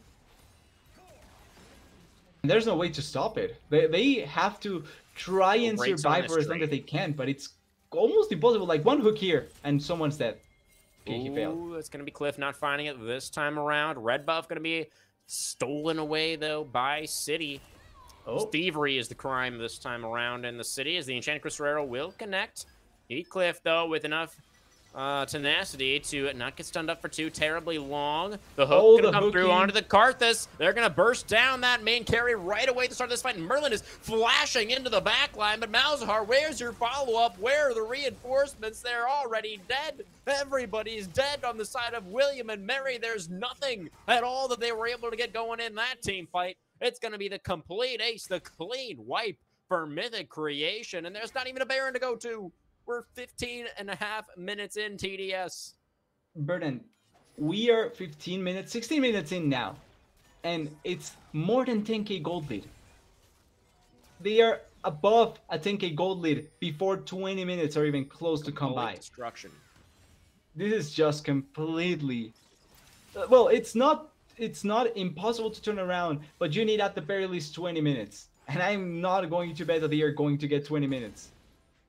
Yeah, and uh, this is, you know, again, this is a composition for William and Mary that is suffering from a very similar ailment to what Mythic Creation were dealing with the last time around. They don't have the engage that's needed. They don't have the tools that are necessary to come back into a game when you're really far behind like this. All they have is damage. And yep. and I mean, they've got a little bit of utility with the Ashe, and they've got a Poppy who's I mean, I don't think the Poppy really even counts as frontline at this point, unfortunately. It doesn't even have a completed item yet, versus Jace is about to complete his third item. So, uh, and the third item is going to be an LDR, by the way. So even when the Poppy does get an item, like the armor penetration is already there anyways. Yeah, it's tough. This is so difficult to try and turn around. They need massive, massive miracles to make it happen. And I'm talking about Baron buff steals. I'm talking about like a 75 minute slog where uh, Mythic Creation forget that they they have to destroy the Nexus to win, and they just like AFK yeah. farm for 25 that could work out minutes. As well. Yeah, something like that. Or we have you know several PCs disconnecting. I don't know. That's that's kind of what we're looking at as a potential. That's the angle we're looking avenue. for. Well, this can work out for some teams to try and lay out what they want to do in the third game as well, just in case. Because it's so difficult to try and turn around that at the very least it gives you thinking time for it. Like, what do we want to ban now? What do we want to take? Is the Nautilus worth compared to the Blitzcrank, for for example? Or do we want to take Blue Side once again? That's this is the yeah, kind of that, situations big, right? that give you opportunity. That is good news for William and Mary, is they can be Blue Side for game number three. So that is that is you know a nice nice upside for us. For any of the William and Mary fans out there in chat, that's what you're hanging your hat on right now. Take oh. blue side game three, guys. Don't even worry about it. As the teleport will come out from Paradox, join up with the rest of the team in this bot side river. It's another chem soul this game, TDS. The second Chemtech soul in a row. That is a little bit unfortunate. But uh, you know what else is unfortunate for Anthony? The fact that he's dead again. Uh, I would argue that's even more unfortunate than actually just having a Chemtech soul. Yeah. Pretty unfortunate for sure. Uh, that was the first Chem Dragon going over. Still a whole whole minute. Oh. Oh, my goodness. Is he just dead? He's, he's burning down. Oh, yep. oh, fourth shot Frozen curves the bullet around Milio and is able to pick up that kill. It is kill number five for the Jhin, so that is a little bit awkward, but I think he's going to be all right with it, all things considered, as we are now pushing down mid lane onto the inhibitor turret. We go for Mythic Creation. Might not even need a Baron, as they do have a Ziggs, who's pretty much just as good might not even need it, but probably will wait until they can get it. They don't want to risk anything just in case. Like they know they can't lose the series if they misplay really heavily. So at the very least, I'm just expecting them to push for a bit, try and poke around, go for a couple of hooks here and there, and then when Baron buff is up, they can go for it. Oh. Okay, there's the engage. It's the Shurelya's Reverie. That's the engage that we have for William and Mary. It's not going to work out, though. Uh, they didn't actually manage the to get on top back. of anybody. Anthony is going to get hooked in, and then he charges forward very dead. bravely and possibly, well, yeah, definitely, actually, very foolishly also. Um, because there was, once again, no follow-up. Malzahar is going to flash away from that very, very threatening robot and uh, will survive for now, but things just continuing to go from bad to worse for the side of WAM. This game is so difficult to play out really. The the situation where every champion just if one hook comes through, but not even the hook, like the hook is is the is the kind of jump scare that can just kill you immediately. But then you you have bombs that you can see clearly that are coming on top of you that are going to kill you anyway from a safe distance. So it's not like you have any sort of safe moment really to try and think around. Maybe this is the only opportunity they actually have of safety because after the back, after Baron is an objective that they want to try and collect, after Baron is collected, who is wave clearing? Who is going to tank the the poke? Who is going to actually take away from the damage of the rest of the team? And I don't think there's anyone. Oh, okay. Jay's not going to go in there. Wasn't sure if there was anybody behind Merlin at that exact moment. Didn't want to be giving away the maxed out shutdown for no good reason. You got to appreciate the uh, respect there from Triops. Dodges away from the Crystal Arrow as well. He is very isolated right now. He has the flash. He's trying to create as much space as possible, sidestepping on the lay waste as well from the Karthus. Malzahar desperately trying to get in range for the Nether Grasp, but cannot do so. The Jace, too speedy, does manage to get towards safety, and now the oh, re-engage, no, the, the punish could potentially come through as the collapse is there. Mage of None getting chunked down so extremely low. Malzahar is grasping desperately to try and find something, anything in this game, but he will find nothing but death as Paradox will claim that last hit kill onto the Karthus as well. The Requiem, it comes out. It looks like it will be at least. No, it's nothing. Paradox will survive. And that is going to be the four for zero team fight plus the Baron for Mythic Creation. Yeah, it got completely tanked by the by the locket. The locket fully uh, tanked the item. Oh. Well, Yamton is fine, at the very least. What was that about Anthony? He's fine. He was able to push away Triops, so he shouldn't die. Oh wait, no, sorry, uh, no. Yeah. Uh, well, uh, oh, he's gonna wait, flash. Wait. Uh, he had the flash Maybe? spell, um, but Triops, he's gonna miss the shock he's blast. He's out. Well, he's See, thinking I about going you, back. Anthony, fine. you should probably, yeah, okay. He's gonna recall. He's got his team. They're kind of thinking about being in the area right now. Poppy will recall took about an aggressive attitude, but at the very least, he's he's not going to die. They really are looking for triumphs. Yeah, and they probably shouldn't be. Okay, we've got Vision on Malzahar, but it looks like the rest of the team for Mythic have gone back into the mid lane. They want to get some good use out of this Baron buff, so they're straight on towards the siege here. Merlin is going to have to beat a hasty retreat, but it looks like at least the Malzahar will be able to do so. This uh, tier 3 turret in the mid lane, though, cannot retreat. That will get oh, taken no. down. He, he's going to get pulled back in by a hook also, and he is going to also be completely unable to do any retreating as Merlin is thinking about doing another grasp. I don't know if you got enough damage, though, Malzahar. Is it enough damage? It's not, it's not even close. It wasn't even close. Triops just dunks him. That is 10 and 0 for the Jace. What an incredible game for the top laner of Mythic Creation.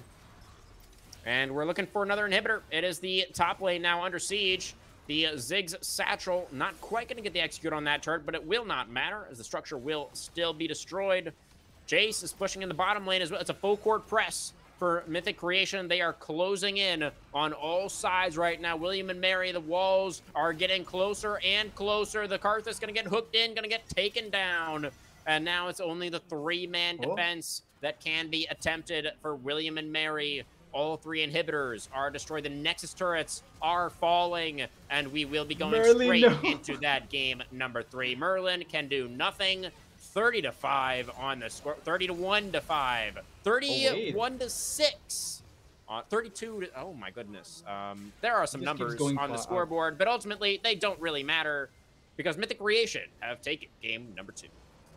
Yeah, they were just kills to try and and bump up the scores from each of the members. But at the end of the day, the story was kind of written like 10 minutes ago because they were so far ahead by 15 minutes that it, unless you commit a big, crazy, super amazing blunder, the game should have still been won by the side of of um, I'm blanking of Mythic Creation. I don't know why I'm blanking on their name. It's it's kind of obvious, but yeah. So really good game by them. Teams. Maybe that's it. Maybe you just like cast yeah, another I, mythic team recently, and true. that's that's messing with your head. I don't know. There's a lot of teams like this, yep. But at the end of the day, they do they do win the second game. Great performance by Triops. Counter picked and still performed great. and you just have to look out for the third game, especially now because he's going to get counter pick again more li- more than likely. Yeah, yeah, definitely. It is going to be Triops back on the red side. Uh, in the game number one, of course, did manage to pick the Rumble into the Poppy and was winning lane fairly decisively. But on the Rumble, it was not enough to carry on the Jace. A very different story. Is he your game one POG TDS man in the top lane? I think it's really hard to argue against it. I would say Triops, and then yeah. Uh, in a in just by like three steps below him, Heathcliff, but number one, Triops. Yeah, Heathcliff did have that really nice roam early on into that top lane to get the Jace even further ahead. Was landing a lot of those rocket grabs as well. And, yeah. uh, you know, shout outs to QCL City also deathless this game on the Maokai jungle 1 0 and 11. Really nice performance from him. Some really great engages, some great jungle pathing. And then, of course, there was Paradox on the mid lane Ziggs, who did actually manage to out damage his top laner, uh, which Ziggs is pretty good at, to be fair. But it was 25k for Paradox and 23k for Triops on the Jace. But yeah, that was uh, a more one sided game than our first one of the night. And it was Mythic Creation who were taking the dub. One to one now is the series score. And it all comes down to one more next to determine who will reign supreme in their religiosity. Incidentally, I probably should mention uh, William and Mary is is absolutely a secular college these days. Um, so I'm just leaning into it for fun. But regardless, we're going to go into that short break, guys, and we'll be back on the other side with game number three. See you soon.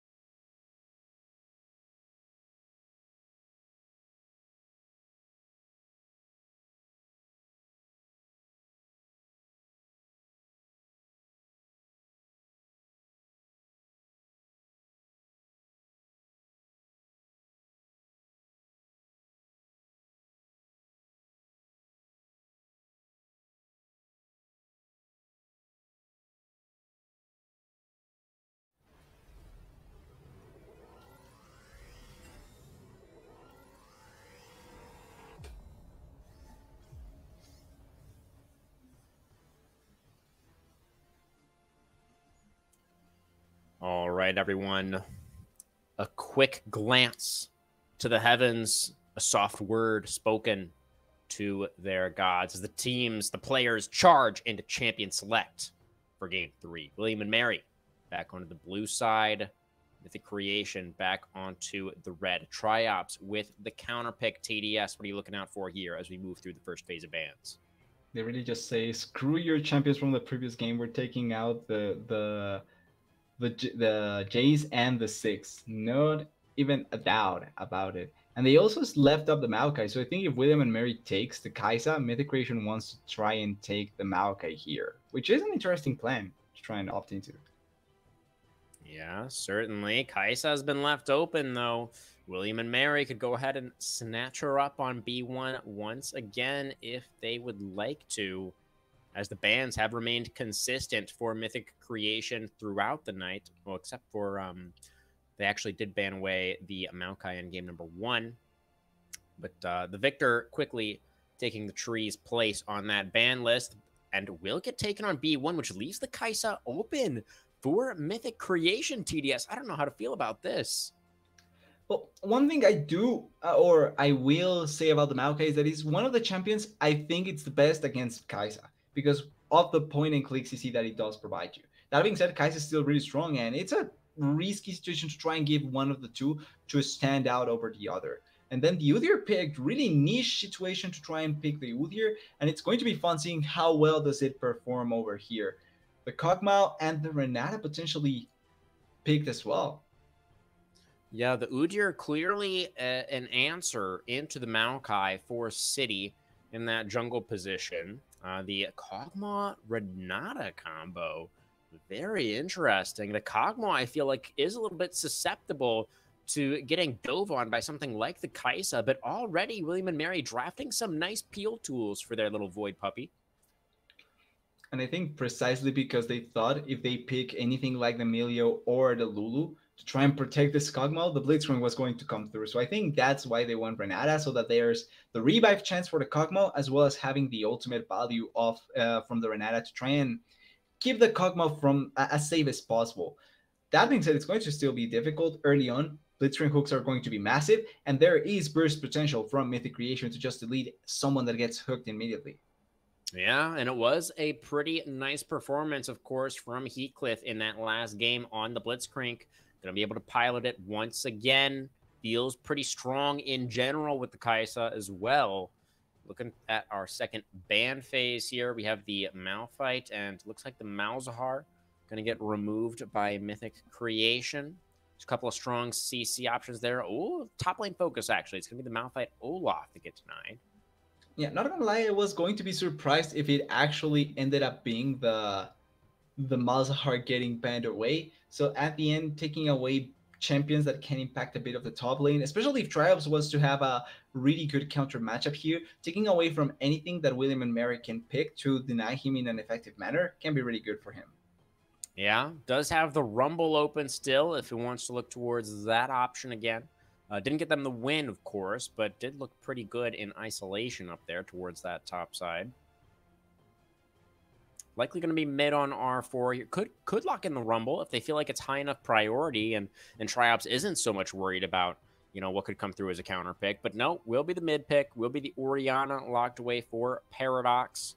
Didn't have that Ziggs, that artillery mage option this time around. So back towards the Evergreen team fighting choice not going to be a bad choice. Does give you lane priority, has a massive ultimate value later on, and can give you a lot of potential play around with your carries. That being said, it is a lot of AP damage that is being picked by Mythic Creation, so going to be important to notice. And also now the Garen picked okay. as well in the top lane. What do you go here as a counter for this Garen? I don't know. I mean, what is even good into Garen? What if we just got Darius? What if we got the lore matchup? I feel like Darius is pretty good into Garen, right? I'm not sure if it's good, but it would be really fun to see a and Darius matchup up there in the top lane. Darius would probably struggle into the Kog'Maw though, especially if there's a Renata and a Maokai there to peel for him. Uh, wait, Kai'Sa's get uh hmm. Maybe it's Jax and they misclicked. Hmm. They're not saying anything actually. Um, think it has to be Kai'Sa top. Or Kai'Sa Orianna top? top lane and Kai'Sa mid. I mean, Udyr has to go jungle. Udyr is the only one who can jungle. Yeah, that's why I think it's either Kai. Uh, it could be Orianna top or Kai'Sa mid, but it, I do think also it could be Kai'Sa top as well. It's just weird, or maybe it's Jinx top. I feel like it's it's got to be Kai'Sa top. It has to be Kai'Sa top, yeah.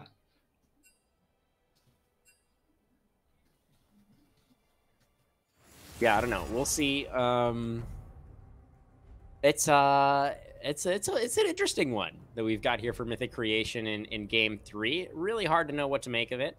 Uh, just gonna have to wait for those picks to get locked in. Let's get you guys that champ select view so you can know, as we do, where everything is going. Um, but yeah, I mean, this is uh, this is quite the curveball. I mean, this is this is to some extent the the power of red side, right? The the ability to make these last second pivots in the draft, throw something in that your opponents are not ready for, are not expecting. Um, and this is, you know, certainly something that Mythic Creation seemed to have gone for in this deciding game three. But you, how valuable do you feel like that is, TDS, just in general? The uh, the surprise factor, you know, the the ability to catch your opponents off guard for the draft. Well, surprising teams sometimes can be really, really good to try and catch them off guard, like you're pointing out. The fact that you can make them double think what it's going to happen and how things are going to play out can be good. But the issue with this sort of overthinking sometimes, right? Trying to outthink and surprise completely the opponents that even though it's maybe a good thing to try and make them think as much as possible, if it backfires, it backfires horribly. Like there's a reason right. why these champions are off meta.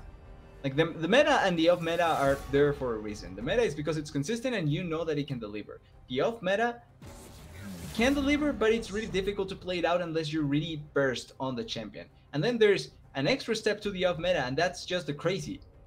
If it works yeah. out, can look massively great, but it just works out in so many determined situations that it it's not consistent enough to really call it a, a, bright idea. And I'm kind of scared that maybe they overthink the situation because they saw the Garen and they are saying, okay, with range I can win against this Garen. But the Garen also, if he gets on top of you, the Maokai gets on top of you, you're dead, like in seconds. There's no outplaying that. So it's really difficult to say if it's going to be worth it or not. I don't think it is, but yeah, we'll see in the game. I will say, TDS, that uh, double AD carry comps are very meta right now. Usually, the second AD carry is being played in the mid lane and not the top lane. Um, but that is still a thing. So, you know, there's also some front line here. We have a Blitzcrank, we have an Udyr. They're really good at standing in front of AD carries and trying to give them space to actually uh, do their job. As the Jinx, as you can see, folks, the Jinx and the Kai'Sa do appear to be getting flexed around. Mythic Creation are not going to confirm for us where these champions are going until the very last possible seconds. But um, on the other side of things, for William and Mary, they have a very cohesive protect the Kog'Maw composition plus Garen. So that's uh, I feel like that's that's pretty straightforward how they're yep. going to be wanting to play things out. We already saw from game one that Cheese is very capable of being the main carry for the squad. Although the fact that Wokian is going to be on the Maokai this time around is a little bit of a different look for the jungler. Exactly. It's going to be a lot on the setup and what they can accomplish as a team. So it's going to be interesting seeing how Wokian moves around and try and set up for this Kog'Maw. One thing that I really like about the composition from William and Mary is that they got the Garen, but they paired it up with a Seraphine. So technically, you could say that you have a, an enchanter for your Garen and an enchanter for your Kog'Maw, or two enchanters for each of them, which is really nice to have like the extra value for both of these champions to not be going in as raw as possible can be really good for them. And then the fact that they can scale really well with this extra support can be so massive for them, especially to try and destroy champions on the enemy team. Yeah, absolutely. I think this composition is pretty threatening for William and Mary, especially against all of these squishy carries on the other side. If they can get on top of that back line, it should be lights out for Mythic Creation. We'll see if Udyr uh, is going to be able to play the necessary defense and actually keep that back line safe. If, if City is going to be able to uh, stand strong for the team in that front line. We do have confirmation, guys, that Kai'Sa is going in top for Triops. 11 and 0 last game on the Jace, this time on the very, very OP Kai'Sa, looking to have another pog-worthy performance. I think it's safe to say, uh, TDS, that you probably prefer the comp of William and Mary, though. How much do you feel like their draft has advantaged them? I think it's all going to fall into what happens in the first 10 minutes with this Kai'Sa. If she gets scot free out of the lane, I can see the composition from uh, from Mythic Creation having way more value. But if not, I would argue William and Mary's is much more consistent and I like it a bit more. All right, then. Eyes on the early game for Mythic Creation. The Kai'Sa top. You know, the champion is broken, but how broken is she really? We are about to find out. See you soon for the deciding game three. Don't go anywhere.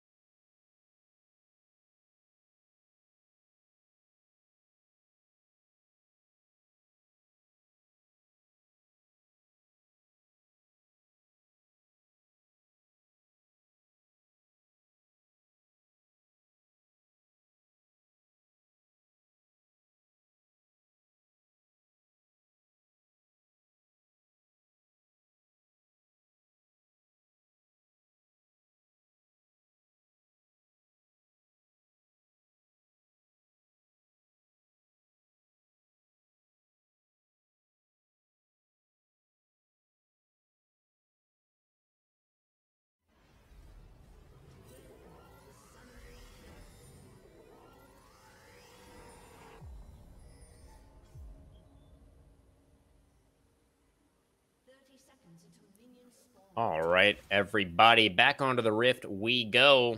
As we do see Mythic looking for a little bit of a hook here in that bush behind the Dragon Pit, but unfortunately for them, there was nobody standing in that bush. The defense for William and Mary is, in fact, on the top side of Summoner's Rift, as that is where they have set up their five stack.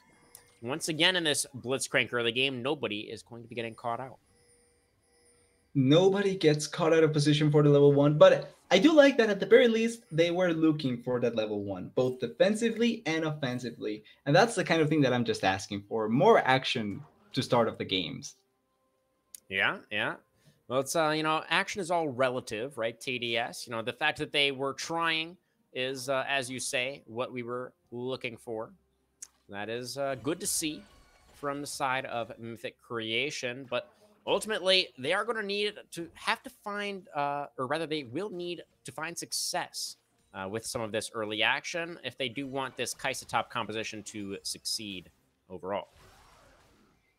Ideally, they really want to try and make it work as best as possible, but good early, right. good ganks could really turn that sort of Kai'Sa lane into something really more positive. Look at that. Like that sort of trading can be good. Then the Udyr coming topside as well to try and help her out can be really, really great. And it looks like Maokai may be pathing towards spot side. Meanwhile, the Udyr is pathing topside. So maybe that can be the difference very maker. True. Very, very true. If the uh, jungle differential is in the Kai'Sa's favor up there towards that top lane, then that can be very, very beneficial. We already see, you know, Triops playing that lane out just a moment ago, we saw the Kai'Sa playing forward very, very aggressively, laying down that harass into the Garen. Does take a turret shot there, though. It's Hail of Blades on the Kai'Sa top. It's a pretty standard choice on the champion just in general. Yep. It's also going to be Ignite on the Garen, so solo kill potential can come through at any point for Yamthony if he really wants to go in as aggressively as possible. But look at that damage. Yeah, has to choose his moment carefully, right? Because that's the thing yep. with ranged top laners is if you if you can't get the kill when you go all in, then you take so much damage on the way out. So look at Anthony already so low towards this top side. And as you were pointing out earlier, his jungler on the opposite side of the map now, Wokian towards his bottom lane is generally where you want to be these days as the jungler and we'll be able to defend against any rogue hooks that may come through. But now QCL City in position to support his Kai'Sa top. Not really a dive angle here or anything. It looks like this wave is actually is pushing away from the Garen. It seems like Triops is intentionally allowing the wave to push towards him. It's really setting up really nicely. And thinking about Yamthony, one of the things that you typically want against ranged top laners, really nice way of running away from Triops, is to have some sort of uh, engage potential, right? Some gap closer to try and get on top of the range top, uh, the range champion at the very least. But Garen really doesn't have that. That's going to yeah. be one of the biggest complications for the Garen, really. Yeah, yeah, absolutely. Uh, you know, he has the flash, but that is it. He has one shot, one bullet in the chamber to kill this Kai'Sa. Whenever he decides to fire it, you know, at least the Garen does have that passive health regen where uh, he can kind of play things out a little bit more patiently and and just try and, and regen up as, as much as possible. Uh, you know, in between going for these last hits on the minions. Able to get the canyon there. Very nice for Yamthony. And now with his thought with his jungler over there, maybe he can be a bit more aggressive in how he wants to try and clear certain things. Both the Scuttle Crabs was, were collected by QCL City though. So kind of behind yeah. on the side of Wokian. Definitely the case. Udyr, another champion, very, very proficient in those power clears. Here he comes into the bottom lane. The hook will land. Mage of None getting taken down very, very low. What? The uh, handshake underneath the turret does get the Udyr down quite low as well, but City will be able to run on out of there with the Ghost. And that is going to be a kill going over as both top laners are dead. What happened? There was a first blood and it went to the Garen first before this fight was happening down here. And obviously we panned towards the bot side, so we didn't catch what was going on up there. But I can just assume Triops tried to go for the kill with the distance. Garen flashed on top of her of the Kai'Sa with a Q and ignite, and the damage was just enough to get the kill. Kai'Sa probably traded with the last bit of uh for Q or minions helping around but it's just such an equal trade up there that it's kind of difficult to say how it went down. On the bot lane, though, really nice play, really well executed, and they blow everything from both champions down there in the bot lane. Yeah, definitely.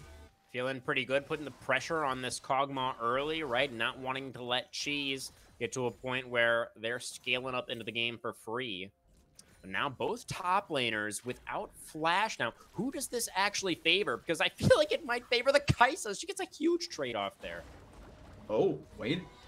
Oh yeah, Seraphine in trouble in the mid lane. The shockwave does come out, but Kai'Sa in trouble in the top lane. Is the Justice the oh, sword will fall down from the sky, but it's not enough damage as Triops will survive. Udyr picks up the kill, and now Wokian's only level four. He's flashing away. He will be able to escape, but that's gonna be the summoner off the jungler now as well. And Mythic Creation with their Kai'Sa top in tow. They're looking good here at the start of game number three. There was simply not enough damage there to try and get the kill. Oh, wait, Wokian? Should be yeah, fine. He's gonna get a little Ooh. bit of damage. He's got to be careful. oh, the Icathian Rain cleans up the kill underneath the turret, and it's number two for Triops. And it's important to point out, this Kai'Sa is building towards the AD side of things with the Serrated Dirk and the tier already stacking. So this is not going to be the poke Kai'Sa. This is going to deal damage onto this Garen and try and kill him. But crucially, really well played overall by Triops and QCL City and also taking advantage of the fact that Anthony and Wokian were committing way too heavily on the obvious target that was the Kai'Sa. And now there was an opportunity for it to go completely wrong. But when the Kai'Sa is ahead, when she's this far ahead of the Garen, now we begin talking about the other side of the coin where you can actually begin carrying the game as Triops because you have the damage. 700 gold is the lead for Kai'Sa in the top lane. Merlin going to get stunned up a little bit underneath the turret, but City actually taking the worst end of that trade. the Seraphine was in a fairly defensive position. Oh, here comes oh. Heathcliff. This is the Heathcliff special, the early blitz roam into the top lane. Looking for the rocket grab. He's going to find it. Killer Instinct is not available, but it is not needed as Triops had all the support that was necessary from his crank. And that is going to be now another kill over to the Kai'Sa top 1K now. 1100 it looks like actually is the gold lady. No. Now Merlin is in trouble. Oh no, Merlin. Oh, William and Mary, you're supposed to know that the Blitzcrank is there. That should have been a very easy play to avoid. But in the end, it will be both solo laners falling victim to the hand of Heathcliff.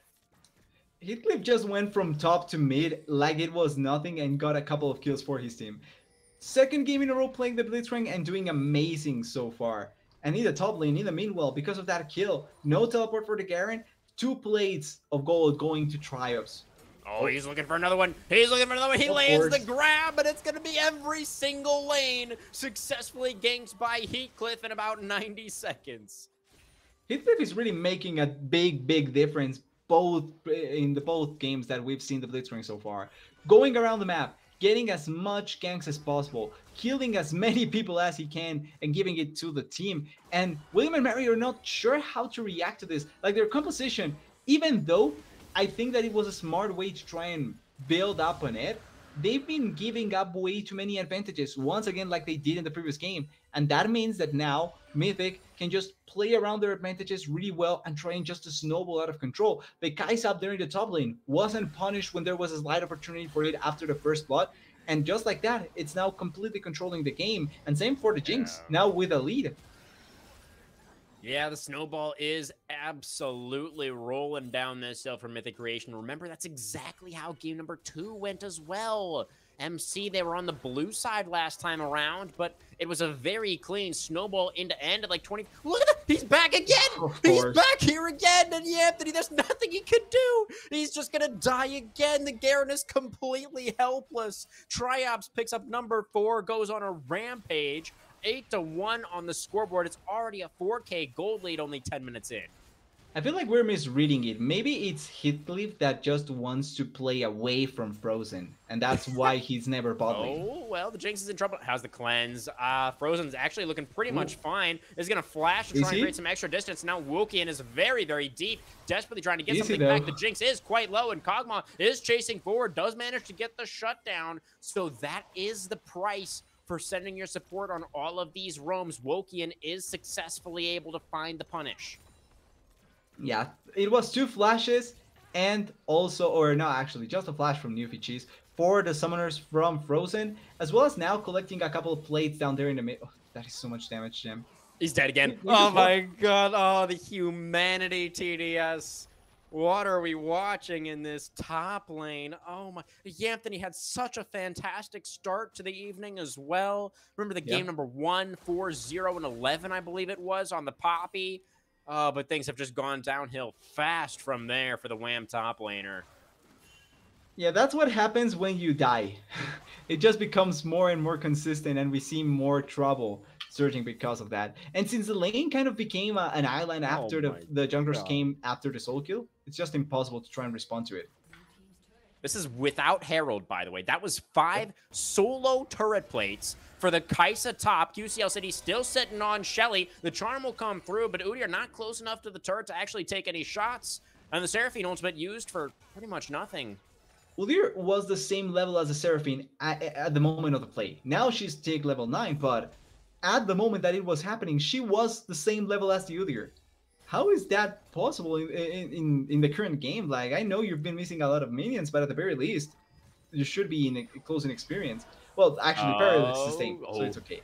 If Paradox had Shockwave there, I think that, oh, it's actually still just a dead Merlin anyways, matter? as the uh, empowered Udyr Q comes through. This is going to be Frozen getting taken down again, as Wokian has set up a bit of a tent, a bit of a campfire down here uh, in this bot side of things, but the rest of the map is just absolutely getting blown open by Mythic Creation. They are running Summoner's Rift right now. Look at the teleport into the bottom lane from Triops as well to defend. It's like, it's okay, Frozen. I got it from here. It's 5k 5k of gold advantage, actually 6k now, before 15 minutes. So you think we get towards the 10k that we were last game at 15? I think there's a very solid chance that we get there again, TDS. I feel like Mythic oh. Creation are on pace. Shockwave in the mid lane, not quite enough damage. Super Mega Death Rocket is going to connect onto the Kog'Maw, but it's Renata that goes down, though, as the Rocket Grab has connected. Triops Killer is sent to the other side of the fight, getting in a little bit of space between himself and Cheese. Will get away from any return DPS. It's just that one additional kill going over to MC in the bot lane. It's going to be the extra, although Wokian is still here. Maybe they won. They have the flash. Flashing for the twisted advance. No killer instinct. Oh, where did he go? Wait, wasn't there a was there. there. I thought there was a. Was, was there a. Was there a Maokai there? They just cut down at three really quickly. They laser oh. sword that tree down, essentially. I didn't. Oh. I didn't see that. Uh, is Heathcliff maybe a little bit too far forward. No killer instinct, remember? so uh, yeah, Triops is pretty much like, yeah, I'm I was gonna base, dude. Um, so Heathcliff, make just getting a little bit too big for his fists there, too big for his robot britches. Has had a fantastic game so far. I think we can forgive that one little overstep.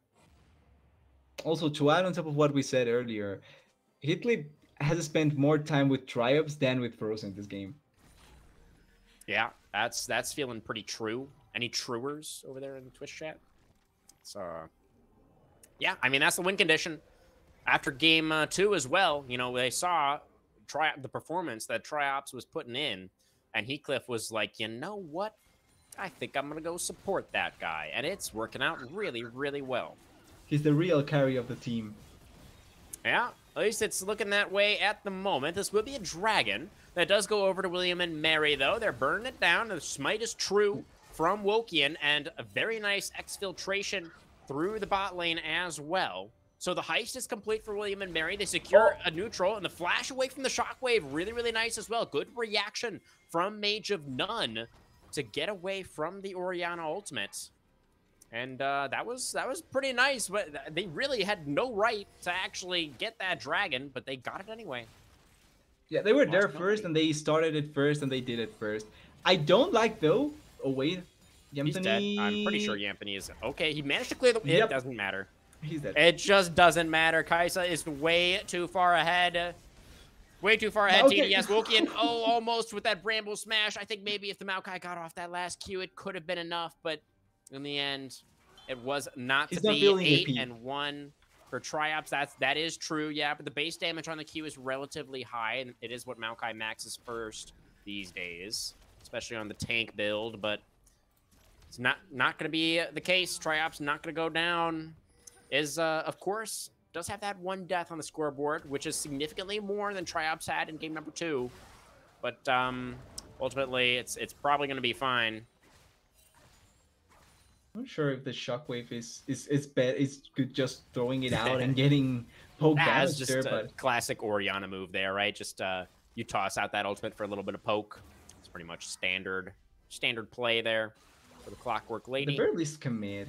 I would I would have I would say the paradox at the very least go aggressive and try and get the kill. Your your team is almost 10k gold ahead. It's not the same 10k gold at 15, but it's almost 10k gold. So you can be a bit more aggressive with your decision making there. Yeah, okay. yeah, you certainly can. Um, you were not able to get set up for that last neutral as we were just you know discussing prior, but still they have a whole bunch of control over Summoner's Rift right now. And uh, yeah, they should be able to play for pretty much anything that they want. It's uh, not really pushing the envelope too aggressively right now, though, TDS. So I, I am with you. I like they should know on the side of Mythic Creation that they do have an absolutely redonkulous lead right now. And so they should do something with it.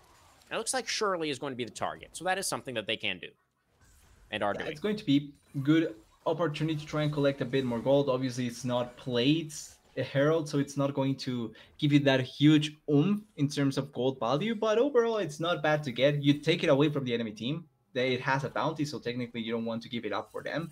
And then also, it does make you have the opportunity for when the next dragon spawns, drop it in one lane that you want to try and crush, and just try and destroy it as quickly as possible. Yeah, certainly. Some great options here. Could put it in mid lane. That would immediately destroy that tier 2, assuming it can get off the charge. Uh, or if you put it in whatever lane Kai'Sa's in, I feel like that could be really threatening as well. So uh, some really nice options here for City. See what the Udyr is going to decide to do with that second Herald. Still have uh, about 90 seconds on our first Infernal Drake. We do finally have a, uh, a good soul for our last game of the night, TDS. Infernal Soul on the card. Look at that damage from the Void Seekers, man. That was a couple of W's connecting, and Yamthony's down to about uh, a little over 50% health. Yeah, oh my, oh my god, this Kai'Sa. They are keeping behind. This Kai'Sa damage, man. Yeah, this, uh, okay, Maokai with the Nature's Grasp. Yeah, Ooh, oh, the nice. beautiful killers. Oh, still gets clipped by the Charm, actually. But look, the Seraphine health they have to just run. dissipate into nothingness. Yamthony, ooh, very close on the super mega rocket of death there, but just barely. Wokian going to be able to soak that one by himself. Oh, maybe not the best idea to stick around underneath this tier two, though, Mr. Tree. I think he's going to have to beat a hasty retreat. And that tier two in the bottom lane is going to be forfeit. You have to imagine, although some low health oh, bars, oh, flash forward. No, it's going to be Cheese looking for it. Cannot quite get that last Kog'Maw ultimate off, though. The Kai'Sa W, the Void Seeker, it's not enough to get anything back. They will have to sacrifice their Blitzcrank. They do get what they came for in the tier two, though, and they do get their carry Kai'Sa top out to safety. They really were trying to kill that Kai'Sa down there. And Triops almost dies. Yeah. If the Kog'Maw gets the shutdown, that could have been a potential turnaround. Kog'Maw with yeah. a huge amount of gold really is what you're looking forward to this game. But Triops played it out as best as he could. Scapes also, Heathcliff may have died, but he sacrificed his life for the greater good. That is, Triops not dying. So worth at the end of the day. Yeah, it was a really good attempt there, honestly, from Cheese, from Newfie Cheese, almost able to get that huge, huge shutdown. Is now it's Paradox in trouble. He's going to flash and just barely with the speed boost gets out of range from that Nature's Grasp. And with now the dragon, that second dragon that the side of of William and, and William and, Come on out, TDS. Yeah. It's game three ah, so close. I was so close to getting there. But well, with the dragon that they were able to steal, just quickly to close out the point, that they actually prolonged the game long enough that the soul is not going to be a big issue. Because I would imagine that Travis wants to get the the soul. Oh wait. Okay, this is a big old dog pile on top of that Blitzcrank. They will take him down. That was a nice shockwave to it too. Look at the killer instinct into the back line from Triops just taking over in the team fight. That's when you can do when you're playing Kai'Sa on 13-14, ladies and penta? gentlemen. It's going to be the pentakill for Triops on the Kai'Sa top lane. And it's going to be Mythic Creation taking the two-win victory in tonight's match. That was all that the Rena- that the Triops was missing tonight. getting that last pentakill after the last two games and just trying to destroy everyone with this Kai'Sa. Great game, great performance, great pentakill, great damage. Is it there anything else that you can say or argue that it's great from Triops? Because he's been doing everything. Yeah, it's been looking pretty clean across the last two games. The last question that I have for Mythic Creation is can you end game three even faster than game number two? I believe it was uh, just under 25 minutes for that last Nexus, if I recall correctly, TDS. I think it was around the timing. Okay, Anthony, hide on bush angle. He's three levels oh. down, though. Oh. And that's going to oh. be a dead Yamthony once again. Blitzcrank flying in there with the Everfrost. Had the setup. oh, no. Oh, my God. And, and there's people that oh. think that's balanced. No, Just does saying. anybody? I don't think anybody really thinks that, do they? There's actually people out there that think that Kai'Sa is balanced. It's just that no. that what is it called? Oh, yeah, no. Is it the back-to-back pentas? Is that the back-to-back Woki? Come on, Woki. You gotta, you gotta give him the chance. He's gonna give him the chance. That's gonna be the rocket it. grab. There's the back-to-back penta kills for Triops. Oh my God, what did we watch in this game three? TDS, Anthony is gonna come back from the fountain. Just go back over there. Yet there's nothing you can do. I'm sorry. This game has long been over. Long have we waited, and finally, it will be Triops moving in with the rest of the squad to secure the Nexus. It will go down with 22 and a half minutes. It is even faster than game number two. And what a performance from Mythic Creation tonight. Absolute domination in the back half of tonight's match. Yeah, especially after the, how the first game went. Really good first game by William and Mary to how they played it out, controlled it. But the second and third game, the side of Mythic just decided we want to go in, we have to we want to have damage, control the waves, and win the lanes. And they did that perfectly and destroyed the game. The start of this game was looking a bit iffy with that first blood in the top lane, how it went and how Yamthony actually won the 1v1 against the Kai'Sa. But after that, Triops just completely annihilated the lane, annihilated everything, destroyed yeah, poor Yamthony up there. And even though I thought it was going to be actually AD Kai'Sa, he just went for the uh, to try and get the AD upgrade first, the Q upgrade first, to get the damage down in the lane, and then went for the AP. And I think that's a really smart adaptation because he's on a 1v1 lane against a solo against a solo laner that is melee. So as long as you get as much damage as possible with your Q, he cannot do anything to you. And that's exactly what we saw consistently from Yan- eh, from Triops out there in the top lane. Unbelievable stuff. Look at these damage charts, TD. I have not seen a damage chart like this in a minute. That is just disgusting. It's 36k for Triops on the Kai'Sa. Second most damage in the game was Newfie Cheese at 14 and a half, well under half of what Triops was able to put out. That is just nasty, man. Yep. I'm also more um, curious about how m- there were multiple members below 10,000 damage. I but... mean, that's just the way things ended up playing out. QCL City and and Paradox were were both deathless, you know, but they didn't they didn't really have to even do anything. It felt like nobody on the side of, of, the creation had to do anything that game except for maybe Heathcliff. You know, yeah. Heathcliff was kind of popping off there, helping helping set Triops up and uh, making sure the rest of the lanes were winning as well. But I mean, that was it was so one sided. It's like Triops didn't give anybody else a chance to do anything. It really was. It just so difficult to go against how it went because of how much domination there was in the both last games, both of the last games. Unbelievable. I mean, I think it's pretty uh, one sided. Our MVP votes once again are going to have to go yep. up to Triops, the man on the top side. Uh, it's really just nobody. I mean, Heathcliff is is a strong runner up. It's a strong runner up here in this in this last game.